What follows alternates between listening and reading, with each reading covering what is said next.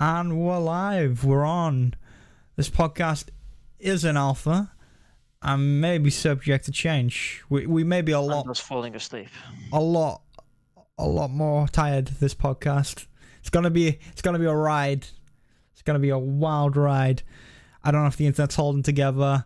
I'm not holding mm-hmm. together. No, Tef. me neither. It's not holding together. It's it's gonna it's gonna be not a lot holding together this week. I'll be honest. But we'll get into that later. Got Oh, a bumper episode for you tonight, lads and ladettes. but yeah. Oh, shall we start with what we've been playing this week? Which uh, take it away, Tef. Well, I don't know. I think contrary to our usual, um, oh, I can't even make words tonight. it's gonna it's gonna be a fun one. It's gonna be a long one. I think you should go first because I, I have got a lot to talk about, and I think you've got next to nothing to talk about. So let's get you all the way. Hi guys, I've been playing a little known game called ArcheAge Unchained. You may have heard of it, you may have not, but yeah, I've been playing a little bit of ArcheAge. We finally wrapped up the Garden expansion videos. Woo! Got them out of the way just Re- before the podcast. That one was that thing's been out like four months now. Listen, you know what? There was a boss fight that I just, you know what? I couldn't be bothered with. It's far too much work. And then I was like, okay, let's go and finally do it. And then did the boss fight. Ended up finding a way to cheese it. So that'll be in the video Hey. and help out all the kids that can't do it because they're too low gear score. And then after that, there's another boss fight that you don't really need gear score for because it's just like, hey, here's god abilities now. Go fight this other god. I was like, cool. Policy. Yeah, sounds not- good. That one was just like he gave you four abilities and was just like, yeah, just time it. So when he does this ability, you do this ability and stuff. So I was like, okay, easy peasy. But yeah, Uh, that. I got a, I got a costume because of it, because you know that's Garden of the Gods. Um, yeah, that's all I've done. Yay! Hold on, uh, is there anything else? Oh yeah, Metal Gear. Metal Gear. We played that, and then Played a uh, lot of that. We have played a lot of that, and then we got right to the end of the game. We were right there, and it crashed. I've never but- known that. I've never known that to crash. You know that that capture card. never seen it crash before in all my days, and I emulate a lot of games. Well, welcome to this potato of a PC down here. Yeah, um, that happened, but that very same night, don't you worry, I I caught us right back up to where we were, so it's not a problem. Next Thursday, I'll come around. We can finish that up, and we'll move right on to Metal Gear 2. Oh boy. or whatever we want to move on to. But yeah, we'll we'll figure that out when Thursday comes around. Yeah, that's fine. We'll flab at the seats of our pants as we often do. Mm. Hmm. Other than Sweet. Other than that, there was one other thing I did play for like 15 minutes. I played Cyberpunk for 15 minutes, and I was like, you know what? I can't handle 20 frames per second. I'm good. So 20 frames, you're doing well for, your rig. you know what? I I was pleasantly surprised at how well it ran on my PC. Surprisingly good. Surprisingly well. Well, All right. man. That's all I've played. If you want to take it away, Oh. Well, I've been I've been playing quite a lot of things. Um, largely because yesterday I had a bit of a crisis, much like much like Zan having this crisis as we speak. Okay there, pal? Not okay. bit of a I'm not okay. spicy tea there, yeah. Or did you just fall asleep with the tea in your mouth? Oh, I don't know what happened. I'm not gonna lie. Oh, it's one of those. Oh, Just just It's keep going. I'm muting myself on stream. You can talk. okay, cool. Yeah, that's that's cool. I can still hear him choking away, but that's fine. Um, so I had a bit of a a bit of an episode um, due due to uh, still not having a PS5, but it's not my. I tried, I tried, and I didn't get a PS5. So in in, in uh, a bout of madness yesterday, I went out and bought an Xbox One X. Um, so I own one of them now. Um, Very nice. special a special edition, Project Scorpio edition, which I didn't even know. It was just handed to me, and the guy went, uh, "That's a Project Scorpio edition. Is that all right?" And I went, uh, "Okay, what's that?" And he's like, "Means it's day one." I was like, "Okay, cool." so yeah, it's, it's pretty much the same. It just says Scorpio on the front, but yeah, it's cool. Um, Hmm. so I've I've I got that, and I picked up Game Pass again because now I um you know, I can use it for my PC and on the big big TV. And I just, I just, I kind of wanted one just because I, I've been playing so many Microsoft games recently anyway. And to me, it's like so, it's so important to be able to just like jump between PC and and big TV because I like just like lounging on the couch sometimes. You know, it's just nice. Um, and sometimes I'm in the mood for that and prefer that. And I can potentially just pull this laptop over there and plug it in, but then I've, it's just a bit of a nightmare to set up. It takes longer, and you've got to hope that the wireless controller works because Bluetooth with PCs is just awkward to pair and get set up. I feel like every, you know, I don't have a, I don't have any controllers which are like specifically set up for my computer, so I have to repair every time I want to use a controller with with the, with my computer, and it's just, oh, why do that when I can just sit down and, and pick up a pad and go? So, so I got a One X. Um, christened it by playing Portal 2 to take take advantage of its uh, technological prowess. I just played the Portal 2 4K. in 4K. in 4K. Which is, What else which did you play in was- That 4K? was admittedly pretty cool. so Sam thinks this is really funny, but I also installed Oblivion on it and played that in 4K. I don't know Can't whether it's funny just because I'm so tired. Just gotta have those 4K potatoes. It's really important. Oh, it'd be uh, Um, I don't know. I'm just like 4K Oblivion. Like, ooh, I can see the, the pixels in uh the Adoring Fan's eyes. well, you won't be seeing any pixels, pal. That's, that's Wow. the point. Yeah, it looks quite horrendous, honestly. Any outdoors sections don't look great because in the distance you can just see how they've put no effort into rendering the far distance at all. Mm. Because you couldn't see that before. It was like, you know, 720p on the 360. So, yeah, it doesn't look great. But it's funny. And uh, it's cool. It's, the backwards compatibility is just cool anyway. Um, There's so many games I'm going to install on it just because I can. Fable 2, play that again. Why not? Oh, I really want to play Fable 2 again. I wish that I wish there was an easy way to play it again because that was a great that was a good game. I had time good good times with Fable 2. Just going around getting the mansion, doing the demon door things. I think they were called demon doors. It was a good Yeah, time, Fable it 2. does. Good game. It's not quite as good now. I think it has aged, but it's still good. Um, it's just yeah. When I Hmm. went back to it, it wasn't quite as magical as I remembered. But that's that's fair. It's been it's, it's a very old game now. It's been a long time since Fable Two. Still good fun. Um, uh, what else have I played on it? I got I got the Game Pass, and the first thing I downloaded on Game Pass was this random game. And man, I love this about Game Pass.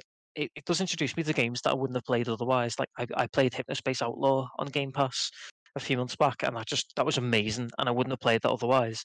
Um, but l- last night, like randomly, I just I downloaded this game called Phogs, uh, which is P H O G S, um, and I'd never heard of it before. And it's a typical kind of indie puzzle platformer, like 3D puzzle platformer. Um, and you know the way they've always, these these like indie puzzle platformers have to have a gimmick, and the gimmick of this one is you play as a like a sausage dog, but both ends of the sausage are a dog's head, and Very you nice. control each you control each end with like like one half of the controller controls one end and one half controls the other, and you just move through the world like puzzle platforming with these two dogs, and it's got like um really like cutesy uh Fall Guy style aesthetic. You know, you know the type. Um, and I just picked it up Okay. because I thought like I, just I don't know. I just I picked it up because it wouldn't take long to download, and not gonna lie, my partner took one look at it and went, "We need to play that. That looks stupid and great." Uh, so I, I downloaded it, and it's it's it's a lot better than I expected it to be. To be honest, it's actually quite creative. Um, the level designs are like really cool.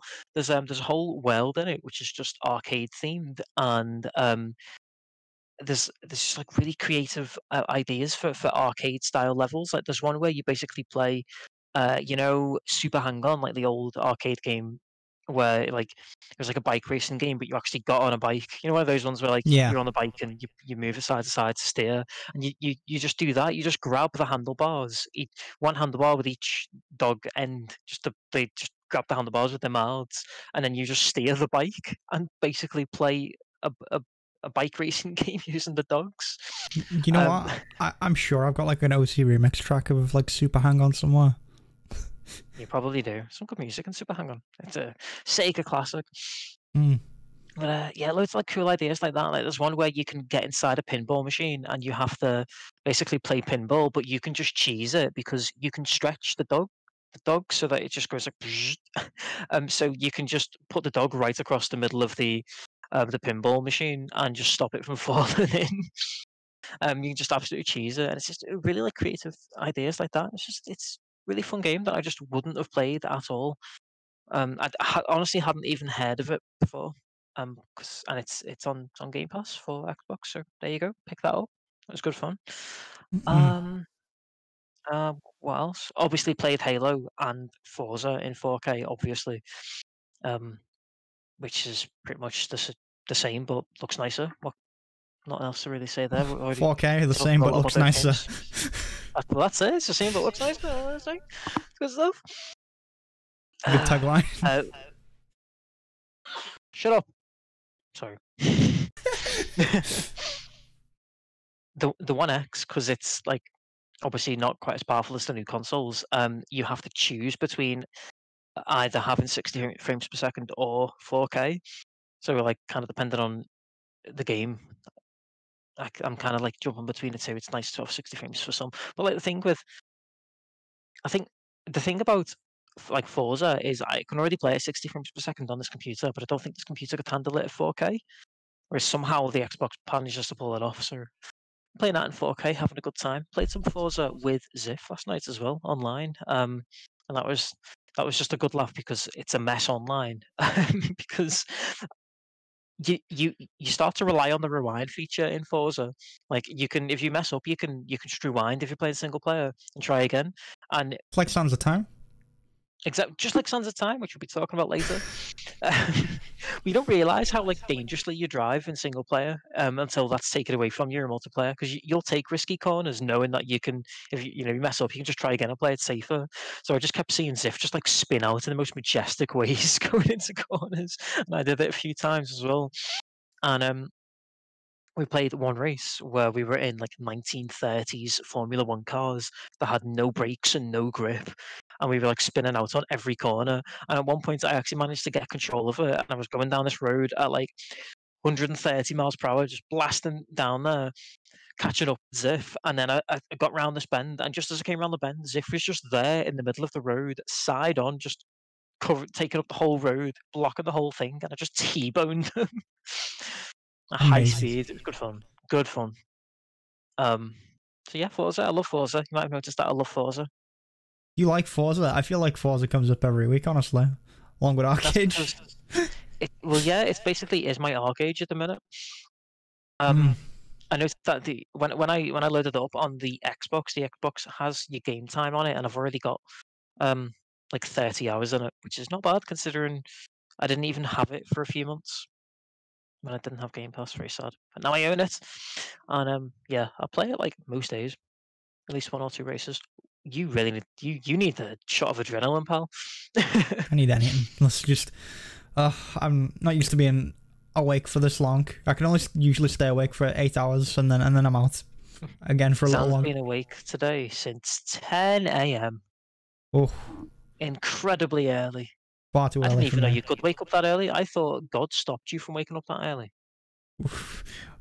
we did have an arrangement, but uh, we aren't we aren't talking right now. Can see why. I see that he's punishing you for something. no, Ah. well, you know. uh, you know who it is. Mess up. and- Mess up. God hates you. Move on.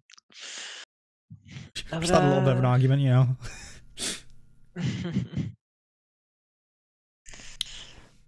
but uh, I'm trying to think what else I've even played. I've, I've kind of blasted through everything there. Then I did also get Resi Three yesterday or the day before. I can't even remember now. I think it was the day before because it's it was on sale for end of year sale for fifteen pound, which I'd deemed when it when it first came out and everyone said it's super short. Um, and good, but not as good as two. I, in my mind, I was like, okay, that game sounds like it's worth fifteen pounds to me. I'll wait until it's fifteen pounds, and then lo and behold, it was fifteen pounds a few days ago, so I picked it up. Um, and I've played about. I've, I've only played two hours of it, and it already feels like I've played half the game. it's super short. Where are you Um, up to then? Well, this is the thing. I'm up to a section that I, I might be wrong about this, um, because my memory of three isn't great, but I'm pretty sure this level doesn't exist in three. Um, and uh, it's it's. See, if I and even if I tell you where I am, it's not going to mean much to you because it's not as much of a direct remake as Resi Two was. Um, it's more of a reimagining. The whole layout of everything is different. You go through the story beats in a different order Mm. um, things happened which didn't happen in the original. As we know, things were cut out that did happen in the original Like as well. the, It's uh, totally different. the fire, the firehouse is really early on in Mhm. that free, isn't it? Yeah. Yes, the fire hose is pretty much the first thing you do. Which, to be fair, it is very early in the original game as well, but not quite that early. It's the first thing you do, pretty much in um, the remake. Um, and then the power station is the next thing you do. Mm. Um, that's that's certainly not like the first thing you do in in the original game. So you go to yeah, you go to the power station. So I've done the power station, but I've not done RPD yet. Um, yeah. Yeah, like that's just not happened yet at all. Um, the the power station's totally different as well. I can't. I actually think it's really cool. Um, they've they've totally changed it, and it's it's it's quite a good addition. Slight spoilers for kind of early on in this game, but um, when you go to the power station, it's infested with like T virus, uh, like spiders. You know, like there was T virus spiders in in Resi One and Two, uh, the Mm. original Resi One and Twos. You don't they don't often use spiders anymore in the in the, the modern games, but they've they've brought them in for this one and they've changed them quite a lot. And they're absolutely horrible. So the way they're introduced is they sneak up behind Jill and they grab her and they just stick one of their legs right down her throat and like impregnate her with these tiny parasite bugs. Yep. And that's what they'll do anytime they catch you. And that's it's introduced to you like that. And if you've got a green herb, um, you can have a green herb and there's some like in in game really stupid in game reason is given that like the, the green herbs act as a deterrent and it forces you to throw up and you throw up all the bugs. So um if you get parasites in you, you like you literally you can only walk really slowly and it slowly drains your health. But if you've got a green herb, you can um throw up the bugs and it's horrible animation of Jill throwing up. Mm. Um so you you have to go through this section and it's you're just working your way through all the scaffold typical like scaffolding of a substation except it's um all being covered in this sort of gooey spider web. So it's becoming really claustrophobic um and it's hard to spot the spiders in it on all the goo and sometimes they'll burst out of the goo and sometimes they're on the ceiling so you've got to keep checking the walls and the ceiling. Um and there's kind of just green herbs littered throughout the whole area because anytime big one of them catches you, then you're suddenly just walking really slowly and slowly dying because you've got these parasites. It's really cool. Um, I thought they would have gave you like blue herbs or something for that.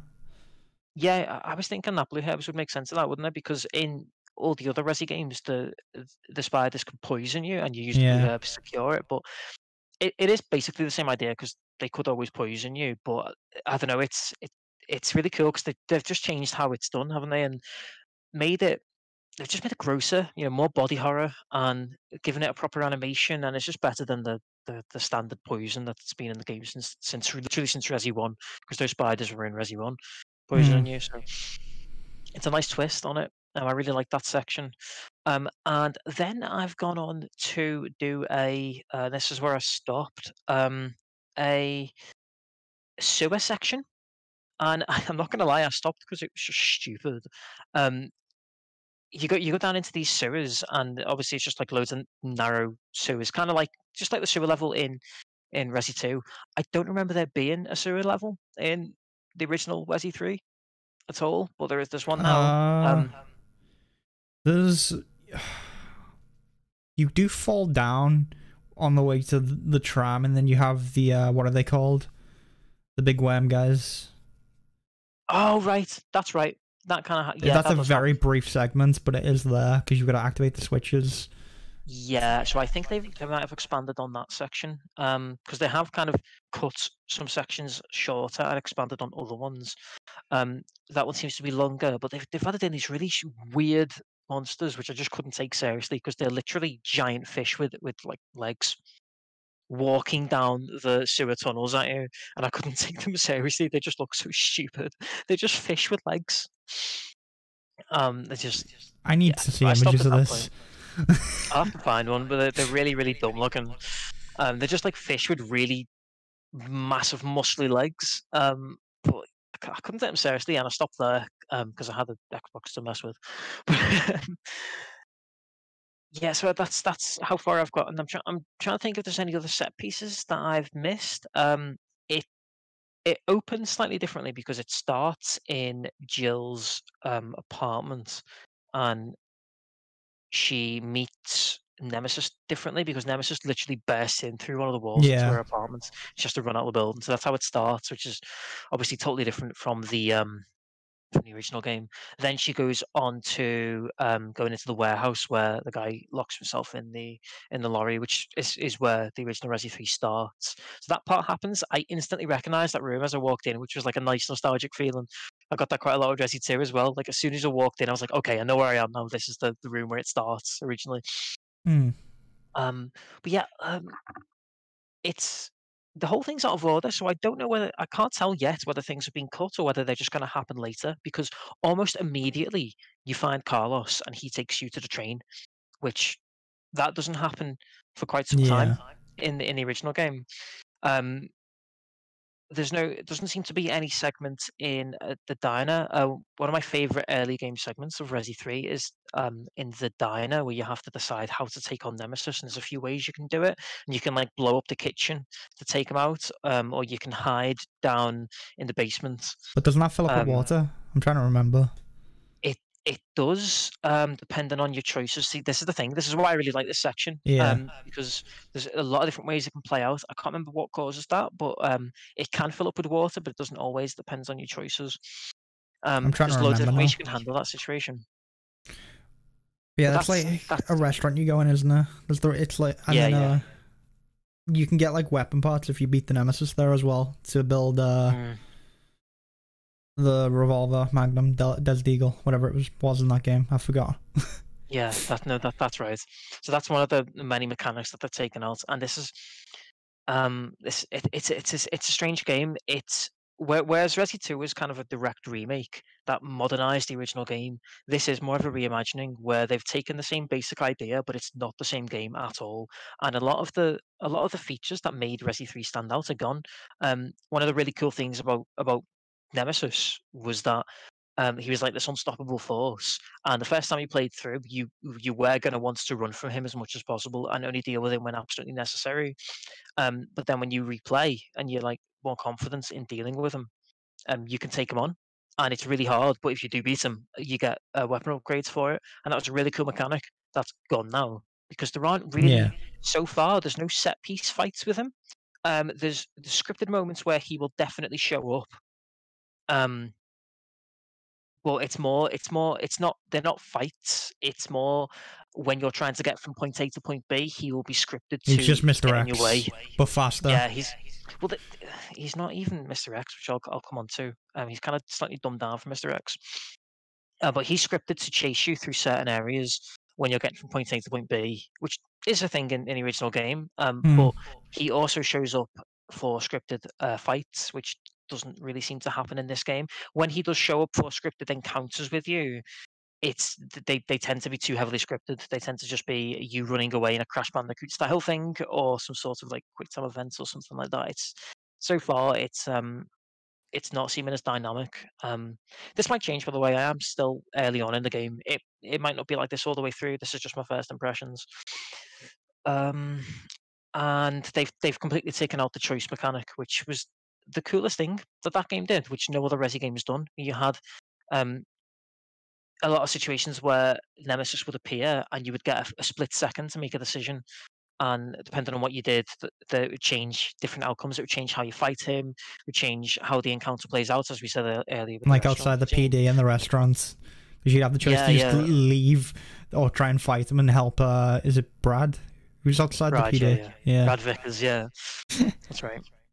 I mean, he, he well, he's he's dead by the time you fight him. But uh, yeah, I, I know what you mean. You have a choice. You, there, you have a choice to fight him or run away. Which if you fight him, you get weapon path. But then, if there's other areas that expand on that, like the restaurant we were just talking about, where there's quite a few different ways you can handle that, and um, there's a lot of different outcomes, and it can affect endings and stuff like that too. So that was a really cool mechanic that is completely gone.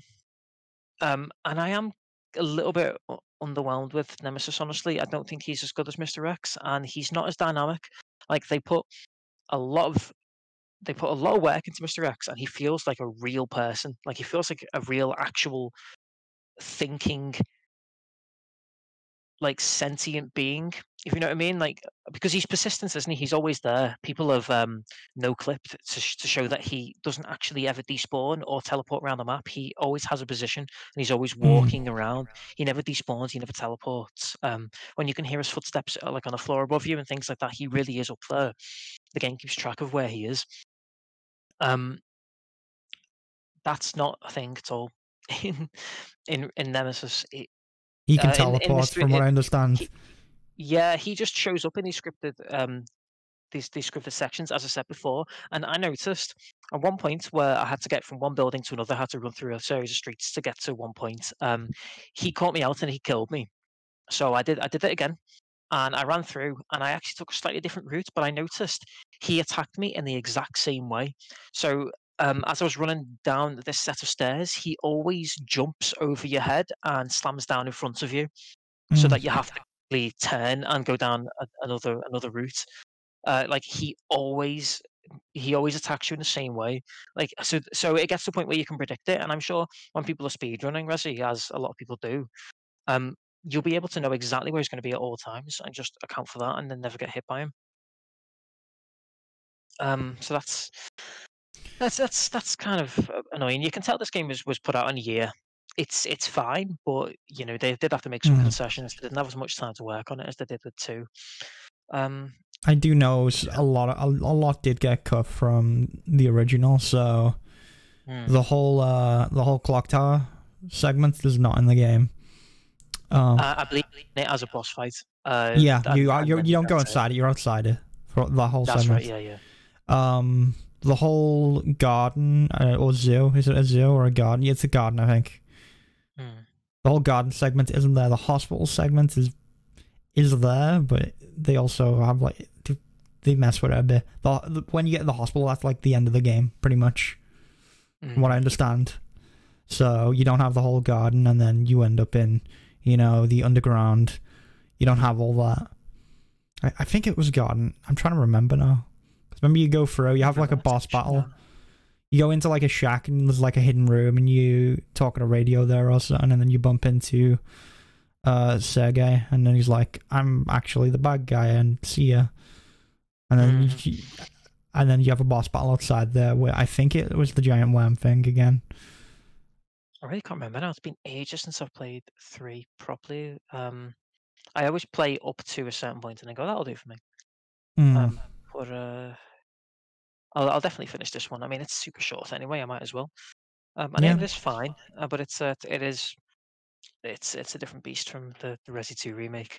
I, I I couldn't believe how much ammo it gives me. Like at no point have I had less than like 150 bullets for my pistol, plus a whole bunch of gunpowder to make more. Like it's just it's really about the combat.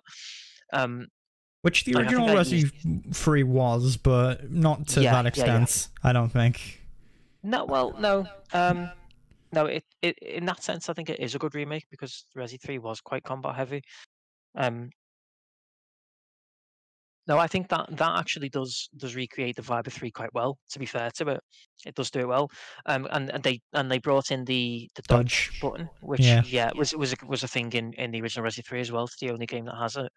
Um, that does mean that you've got all this ammo and you don't even need to use it. I, I feel like the dodge is kind of hard to pull off in the original game, but it's super easy now with modern movements and the fact that you know they don't control like tanks. It's really easy to dodge, especially since it's it's not so much. Uh, it's not so much a dodge as it is just a full-on combat roll. you she like if if you hit it just right, she literally combat rolls out of the way, and then you're miles away from any danger. So there's not even really much of a reason to take on any zombies because you can just roll past them. so Fair um, enough. even Nemesis, you can roll past him. The only time he catches you out is, um, at least early on in his original form, is is his big tentacle arm. He can just grab you. He can wait. We, if you're really far away, but you're in historic line of sight, he can just grab you with a tentacle arm, and he basically pulls you down onto the floor. Um, and he, he doesn't hurt you. You just kind of lie there. You still have time to get up and run away, but that's annoying. That was fine in the original games because of the fixed camera angle. You could see Nemesis from far away coming up behind you and, Hmm. and you know, winding up that attack, and you could account for it. But now, since he's always going to be behind you when he pulls off that stunt, you don't know it's coming until he's suddenly Does he make a sound or anything? Maybe. Like a, any sort of telegraph for it? Not as far as I can tell. Um, but he's kind of hard to hear sometimes, honestly. Hmm. Um, because when you because you find them in the city usually, so there's all burning buildings and hundreds of other zombies like moaning in the in the background. Um, if you're indoors with them, you can hear them quite well, but when you're outside, it's hard to hear them. So maybe there is that I'm not noticed, but that's been just kind of an been Yeah. irritating me more than anything. It's not even a challenge because, like I said, he doesn't hurt, hurt you when he does it. Um, it just slows you down. It's just irritating. I imagine you could get to the point where you kind of know when he's about to do it. Like maybe get to a certain distance and you can like maybe hear him coming up, and then you know he's gonna do the tentacle thing. Maybe. Yeah, but you'd have to keep track of where he is. That's my main, my Hmm. main um complaint with. Can you actually like turn is- the camera around and like keep running one direction while looking behind you or anything? No, not. No, No. you can't. Not in Resi. It's uh, fixed, isn't it? Fixed behind over the shoulder. Um, I just wasn't sure if they had actually, anything ready um, for actually, I'm not sure. Maybe. Um, I might try that actually because that's not strictly true. In the in the new games, when you're sprinting, um, it's kind of switches off tank controls, doesn't it, and goes into normal motion. So, um, maybe you can. I'll try that. Hmm. Just an idea. But uh yeah. I don't know, Resi Resi 3 looked okay. It's like I think the Resi 2 remake is probably still like the best Resident Evil they've put out now.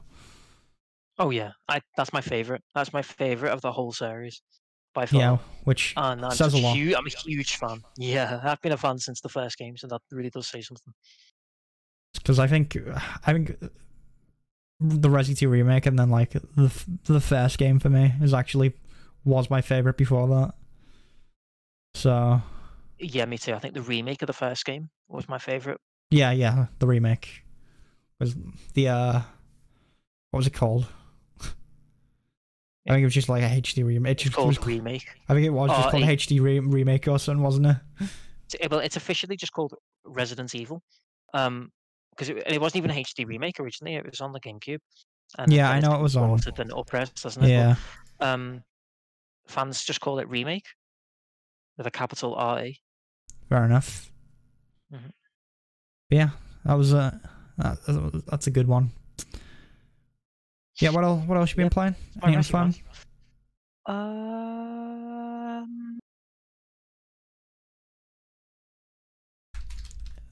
I mean, I've I've just uh, like I said before, I've just been putting various Xbox 360 games into the Xbox One and playing them at 4K and going, oh.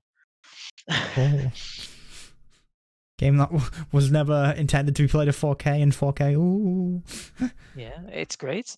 I I mean, uh, I think I think I, thi- I do It's think it's, it's interesting to look be at. honest. Yeah, and like I. And I mean, Oblivion, I could already, to be fair, I, I could play that at high resolutions, and I've played it before at higher resolutions than it's intended, um, because you can do that on PC. But it's kind Yeah. of nice to be able to just put it into a console and and it, it just works. Because you know, a lot of these old games, you'd spend an hour or two just tweaking it to get it to work on a modern computer before you can even play it. So it's it's nice to have that that console console style efficiency of being able to just slide the disc in and play it. Um, I say that um, you have to download the game because these Xbox 360 games, um, the disc is just like a license check. You put the disc in, and it recognizes that you own the game, and then starts downloading the whole game off the internet. So you've got to download like six or seven gigs. it's just, which is weird when it's all there on the disc. But there you go. fair enough. Um, yeah, I'm trying to think if there's anything like particularly interesting that I did with it, but not not really. I played Oblivion and um, bit of Master Chief Collection earlier. Played um, Halo 2 anniversary. I, I put it to I, I really put it to the test actually because obviously Halo 2 anniversary is the um the most graphically intensive out of all the games on the Master Chief Collection, with it being the latest game on there. Um, and that plays at 4K as well, and it does not just just doesn't really stay stable. like sometimes it's like smooth 60 and it's fine, um, but anytime you get into a battle, it, it kind of stutters quite a lot. Can't really Mm. handle that too well. Uh, If I swap, swap over to the Halo 2 original graphics, it's uh, smooth as butter, and it's really funny because as soon as I hit that button to switch to Halo 2, I can hear the fans in the Xbox go, ah.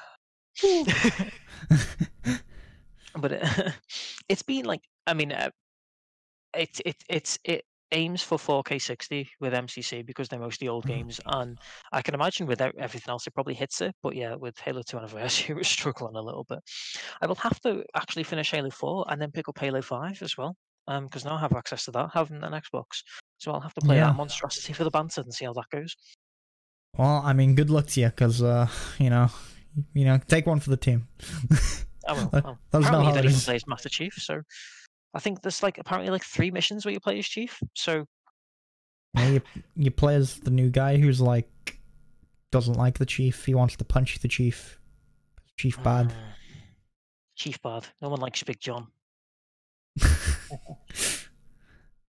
So yeah, I've got a wild ride ahead of me. I'll um probably have more games to talk about next week, really, because I'll keep messing around with the Game Pass. I'll definitely have more games to talk about next week because I've already got three indie games that look pretty good that I've got lined up that I want to play. But uh, yeah, I'm also supposed to be talking to a game developer tomorrow as well about their indie game. Doing like a look at you. yeah, it's I don't know if I'd call it an interview style thing, but it's just gonna be like a talk, you know, just like a private conversation about it. So I'll get some insights into like, you know, in being an indie game dev and stuff, which will be an interesting That is really conversation. cool. That is really Yeah. really cool. So I mean, it was just a weird offer that came up out of nowhere, and it was like, hey, you know, potentially I could also have a character in the game, potentially, but we'll see. oh, very very cool. That is really cool. We should um have to talk about it on the, the game nights. Talk about how it went and that. Yeah, Or um, some other time, whenever you know. yeah, this this is still a really early in development game, so I'm just getting an idea of what it's all like to go through the development process, and um, yeah, I don't know when there's gonna be a playable demo for the thing, but when I do get one of those, Okay. I'll be playing it indie game nights. Give it a go. Oh, cool. That sounds really interesting. You'll have to um, tell me more about that after it happens, because that's. I am intrigued. Yeah, we'll we'll, we'll do. But yeah, other than that, I've not played anything else. I've been busy with other stuff on ArcheAge. so before we wrap up this section, uh, should we talk about MGS? Because we did both play that, and we basically finished it. So we, We did briefly mention it, didn't we? Yeah, yeah. But I feel like since we've kind of mostly finished it, we could, Good game. talk about what we thought about it. Um, especially because it's my first time nearly finishing it. um, Mm. and I, I, I did enjoy it enough for me to really want to play um two and three now. I must say, because it, it did it did pull me in, and Yeah. it's it's it's really it's so wacky and weird, but it's um, it's it's it's it's unique. That's the thing about it. It's it really pulls you in because there is nothing like it. Uh, the the weird sense of humor it's got, the creativity that it's got. Um, And how stealth system's not great, but maybe just a bit old. and like on top of that, it's also very political and very like philosophical as well. And I don't like politics in my video games, but then Mm. you know, I realize I really like the Metal Gear series, and I also like The Witcher, and they're very politics heavy. it's got a lot going on in it. it re- there's so so much that Kojima's trying to get across in one story. I'm not surprised that it needed seven games in total, eight if you count Vengeance, and more if you count like oh, in Mm, fact no, uh, Peace. I didn't. I wasn't even counting uh, Peace Walker. Like there's so many, there is a lot of um, games. but in that it's, series. it's yeah, it's a it's a big old convoluted story. But I think that's because he had a lot he wanted to say. To be fair, um, Mm. I think it's safe to say there's no writer quite like Kojima. There, he's he's got his own brand. Yeah, he- definitely does. He uh I know he does really unique stuff, and I think every anything he puts out is like it's at least gonna be interesting. It's at least gonna be like, okay, I wanna I wanna see where this goes. 'Cause I I don't know. I do like the I do like the you know the goofiness, but also the the way he can, can switch very quickly between a very goofy tone to a very serious philosophical, like and political tone, and be like, let's talk about some deep stuff as well. Yeah, it definitely does have that. It, it it does have every tone that you can imagine in there, and it doesn't feel like it's mismatching. It kind of works somehow. Yeah, I don't feel Um, like I'm getting whiplash when it Yeah, happens. definitely. there isn't any tonal whiplash as weird as that is. Like, um, you know, the, we're talking about a game where within the space of a couple of, of, of hours, uh, you see someone have a heart attack in front of you, um, and and then suddenly you're staring you're staring at everyone's asses trying to find the one who walks like a girl to find your friend, and then you're back to walking down a bloodstained corridor with all these dead bodies, um, which is like that that corridor is tense. Like that feels very atmospheric. Like it weighs heavy on you. Something about that corridor. But then when you get to the end of the corridor, it turns out it's a cyborg ninja who's killed them all, and he's weirdly masochistic and wants you to hurt him. And it's just too weird. And it does. It jumps And around. it's just so like one of my Japanese animes. Yeah, and then and then a random weeb wets himself. It, it shouldn't work. It's kind of a lot like Yakuza in that way. It shouldn't work. It's I think I don't know. Maybe it's just something about about Japanese storytelling, um, but it somehow works when it feels like it shouldn't. It just Mm. comes together, and I think y- y- w- you when you said earlier, it, it does make you it make it makes you want more, and that's like a really good way to put it. You you always want to know what's next. It's Yeah, got a good I I think also like to like weirdly those games are like so on point when it comes to some poli- political stuff as well. Like it's like Kojima predicted the future with a lot of these games. Like I mean, not gonna happen. Like- Mechs with nu- nuclear warheads, yeah. you know what? It wouldn't surprise me. Okay, it might be coming down the line, but like the end of like Revengeance as well has some themes that are just very relevant to today, and it's got so much weird stuff like that. And the end of two as well. The end of two is like very relevant to today as well. So I mean, you'll see that eventually. I guess. I guess I will. Oh, that is uh, a another game that I want to try on the on the One X. Uh, is Bayonetta. Um, because Bayonetta's really good. I wish I was good at those types of games because Bayonetta is cool. Um, but I struggle with Bayonetta because I'm not good at those those kind of games. Mm. But um, it apparently runs very nicely on the One X, so I should give it a go. Um, because it, it's not in, it's not enhanced in any way. Um, it's just that on the Xbox 360 where I've always played it previously. Does it run a it 30? Quite. It, it no, it, it aims for 60. Okay. It's, it's a platinum game, isn't it? Um, Bayonetta. Yeah, I mean, uh, there have, Yeah. there have been some games. I, I'm sure they've had like some games like that where it's run a thirty, or like oh, games okay. like that. If they, if they run a thirty, they don't. They just don't feel as good. Yeah, I was gonna say like yeah, I don't even know why you'd, we'd bother with that type of game. It does it does on the 360 it aims for 60 frames per second, but doesn't always stay Achieve at it. it, yeah. It drops yeah, it drops quite a lot in you know in more intensive fights, and it's kind of locked at 60 with the extra power of the Xbox One. So it would be nice to just to play that just for the smoothness of it. Hmm. I think it's still like 720p though, so maybe better off just getting it on the Switch, which is weird to think. That'll probably have, have a higher resolution on the Switch than it does on the Xbox One. Yeah, I mean, it is gonna have Bayonetta three and two on there as well. So Mm. I need to play Bayonetta two. I don't know. Bayonetta's just oh, such a. It, I had such fun playing Bayonetta. It was such a good time. But I'm also really into those games. Like I love Metal Gear Rising, Devil May Cry, and Bayonetta. They're right up my alley. I would not want to play one of those games on Joy Cons though, honestly. No. Yeah, I'd want to get like the Okay. pro controller if I was gonna do that. Yeah. Yeah, definitely. I don't think that the Joy Cons would lend themselves to that, those wouldn't of do it justice.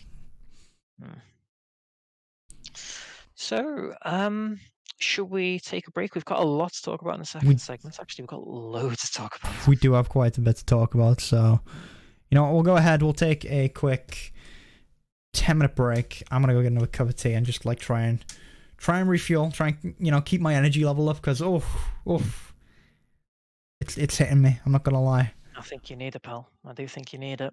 But yeah, we'll be right back and then we'll get into all the fun news that we got this week. So don't go anywhere and we'll be right back. Alright, and we're back. And apparently, we were in the arcade category for the past hour. this has been such a mess. Uh, Oh, we forgot so- the announcement out. Well, Um, I, I wrote out the announcement, I just never hit enter on it, apparently. I'm too I tired. managed- I somehow managed to switch off my own router during that break and I had to wait for my internet to come back on. I, I, I was just sitting there with my guitar, just like, I don't know where he's went. I, I, I come back and Zan's just turned into the stereotype and he sat on his bed with like one leg up on the bed, playing guitar, playing the Smash theme of all things. Well, I mean, what else do you want me? What do you? How else do you want me to play the guitar? I'm playing an acoustic guitar. Where else am I gonna put it? You're just like. Do, do, do, do, do, do, do, do, do, do. I just, you know, I, was trying to keep myself awake. Time with that, or I just drift off mid podcast, and then we stay on the break screen for the next eight hours, and people wonder where I've gone.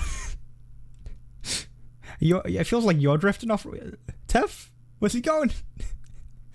I fucking hell, nearly actually fell over them. Uh, right, let's just do the news. Let's get this over with. I want to die. You, you, sh- you should have fell over. It would have been the highlight of the podcast, honestly.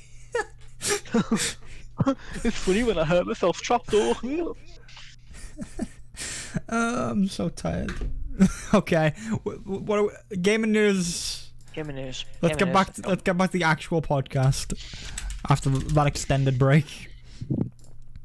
But yeah, we're back. It's news time. So there's been quite a bit this week, mostly Cyberpunk and the Game Awards, but there's been a couple other things that we can talk about as well, because Capcom has had more information leak again. I think it was was it November where we covered the big hack on That's Capcom right, yeah. because that's when they um like the release date for um village got announced or well leaked i should say so that got leaked back then and now more details about village apparently like spoilery stuff has been leaked as well so Yeah, you gotta be careful of whole that ending, apparently. Yeah so gotta be careful on the internet now if you're uh really looking forward to the story of village which i kind of am because i really like the resident evil games and you know i kind of want to see what they do with 8 Yeah. I'm yeah, I interested. I, wouldn't want it. So no spoilers on this channel, please. yeah But uh, yeah, it's uh, Capcom needs to sort out their security clearly. yeah i mean they've been doing good with games but they've really dropped the ball when it comes to uh security apparently. This whole year there's just leaks all around. But uh yeah i don't know. This one's just an interesting one. Be aware this is happening. Oh but yeah um also in other news we have ea versus take two. Who've been in a Ooh. bidding war for uh codemasters which i'm sure we covered some of this on codemasters a while back as well did we not we covered something on codemasters not long ago i feel like Yeah, I think we did, but I can't remember what it was. Probably because I'm slowly dying. I, th- I think it was Was? Take Two um, trying to acquire them. I think we were. Yeah, so uh, they they have been trying to acquire them. That is that's part of this news story. Um, Mm, they've been trying to acquire them, and EA has slid in with a higher bid. yeah, quite Mm. quite a significantly higher bid. Seven hundred and twenty-five million pounds, or nine hundred and sixty million dollars for you Yankee Doodles. Uh, Mm, not- more money not than I will ever have. money. Mm. Oh yes, more money than you'll ever accrue in your whole life. Like Yeah, all of it, including the stuff you've spent. So yeah, they really want. unless I start Codemasters. shilling on Twitch, you know. Get those titties out. Oh no, no, no, no. But uh, yeah, this is a this is a big one because I mean, honestly, if you like Codemasters and what they do, it's not gonna go You're well either way for you. Mm. yeah, Time to take um, two out EA. Pick your poison. yeah, they are screwed either way, and it's a shame because they're like they're basically like the kings of um, racing games. I mean, they've they do uh, the F1 series, the Grid series, and the Dirt series. Hmm. Um, and yeah, like that's the, some of the biggest um, names in the racing game scene. So I would be concerned. Um, I've I've got to agree with our boy Ziff. Um, he said that EA is actually a slightly better option than Take Two, and he's definitely right there. Um, Take Two would, would definitely be a fate worse than death. EA will, you know, the games will probably still be fine under EA. They'll just be uh, microtransactioned to death, but they'll probably still be pretty good as games. Whereas with Take Two, I don't trust Take Two to actually make sure that they continue to be good games. So, um, uh, Yeah, Take Two have done some uh, some quite egregious things with recent games, mm. which we we have even covered as well. I feel like it wasn't that long ago we were talking about the ads and stuff. yeah, that's right. That was only well, I'd say last month. Yeah, Yeah, they've been pulling some bad stunts to say the least. Yeah, it was, it was uh, I don't know. Again, I don't really. I'm not super invested in Codemasters. I don't really play anything that they do. I know this is more like like it, Ziff. Ziff would probably be very upset with this. You could probably yeah, speak he more is. on it. Well, he, he he he was talking about it quite a lot today in um in our, in our little podcast group chat. Actually, pal, if you if you read our group chat, but uh, Well, yeah, not he talking about it on the interesting podcast, is he? He's not here. He's not here on a podcast to talk about it, so I guess I'll talk about it for him. Um, he said he said he thinks that they're they're mostly aiming for the F1 IP. Um, apparently, that's the most popular one. That's the one that makes the most money, and it's um, the last few entries have really improved. So it looks like it's just gonna it's just gonna get better and better. It's going from strength to strength. So um, that's apparently the one that they really want. Um, but obviously, Grid and Dirt are pretty big IPs as well. Yeah, Um, yeah, he's he's not too happy about it. Yeah, me and you, I don't think can talk about it um, too much really because I'm not really into racing simulators. I'm more into the arcadey style, and you're not really into racing games at all. So no, not really. uh, we're not qualified for this. But uh, yeah, I can see I can see why people would be concerned. Certainly. Hmm. But yeah, it's an interesting one, and uh, we'll see how that turns out because this has been something that's been going on for a little while now. We thought it would be Mhm. Take Two, but now EA is just like come out of nowhere. Who knows? Maybe Activision Blizzard somehow step in and go, you know what? We want a racing game. Oh, Microsoft, they're snapping everyone up these days. Uh, you know what? I feel like Microsoft will eventually just buy all the big publishers and be like, you all belong to us now. That's, you know, that's another really cool thing about uh, Game Pass. Uh, you know, because they bought Bethesda, um, Doom Eternal is on Game Pass already.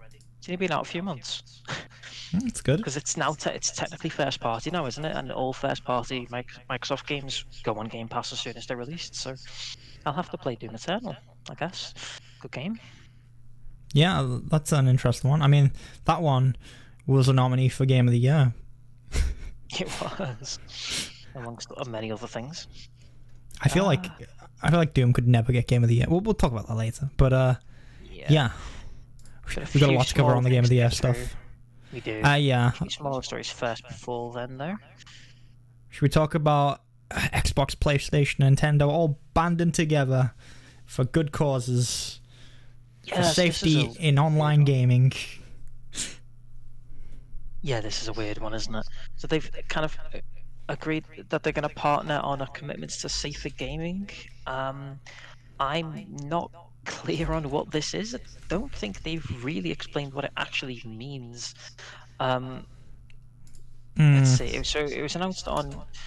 Uh, it was Xbox who announced it, with the um, corporate vice president of Xbox operations uh, discussing how he and the team believe that gaming is for people of all ages, including our youngest and most vulnerable Yeah. players. So, so I guess it's about protecting kids online because there's a lot of vitriol, you know, out there on, on the internet, especially with gaming. Um, if, if you're playing COD or something like that, then you're definitely going to come across it. So I Yeah, Yes, it's to do with that. I don't know what they're actually going to do. it just feels like Um, they're saying s- a lot of stuff.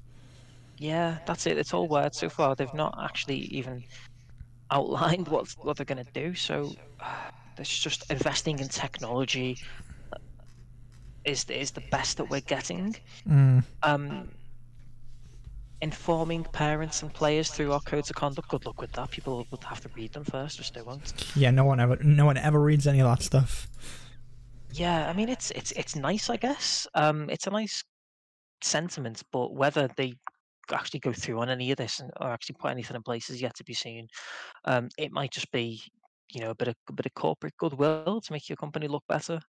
We will have to see, really. Um, wow, there's just bullet points upon bullet points, and nothing is actually said. Uh, we're going to Well, work with the industry. We're Yeah. work with ratings boards. Well, okay. Um, we're going to comply with local laws. I, I, you, I, you should be doing that anyway. Yeah.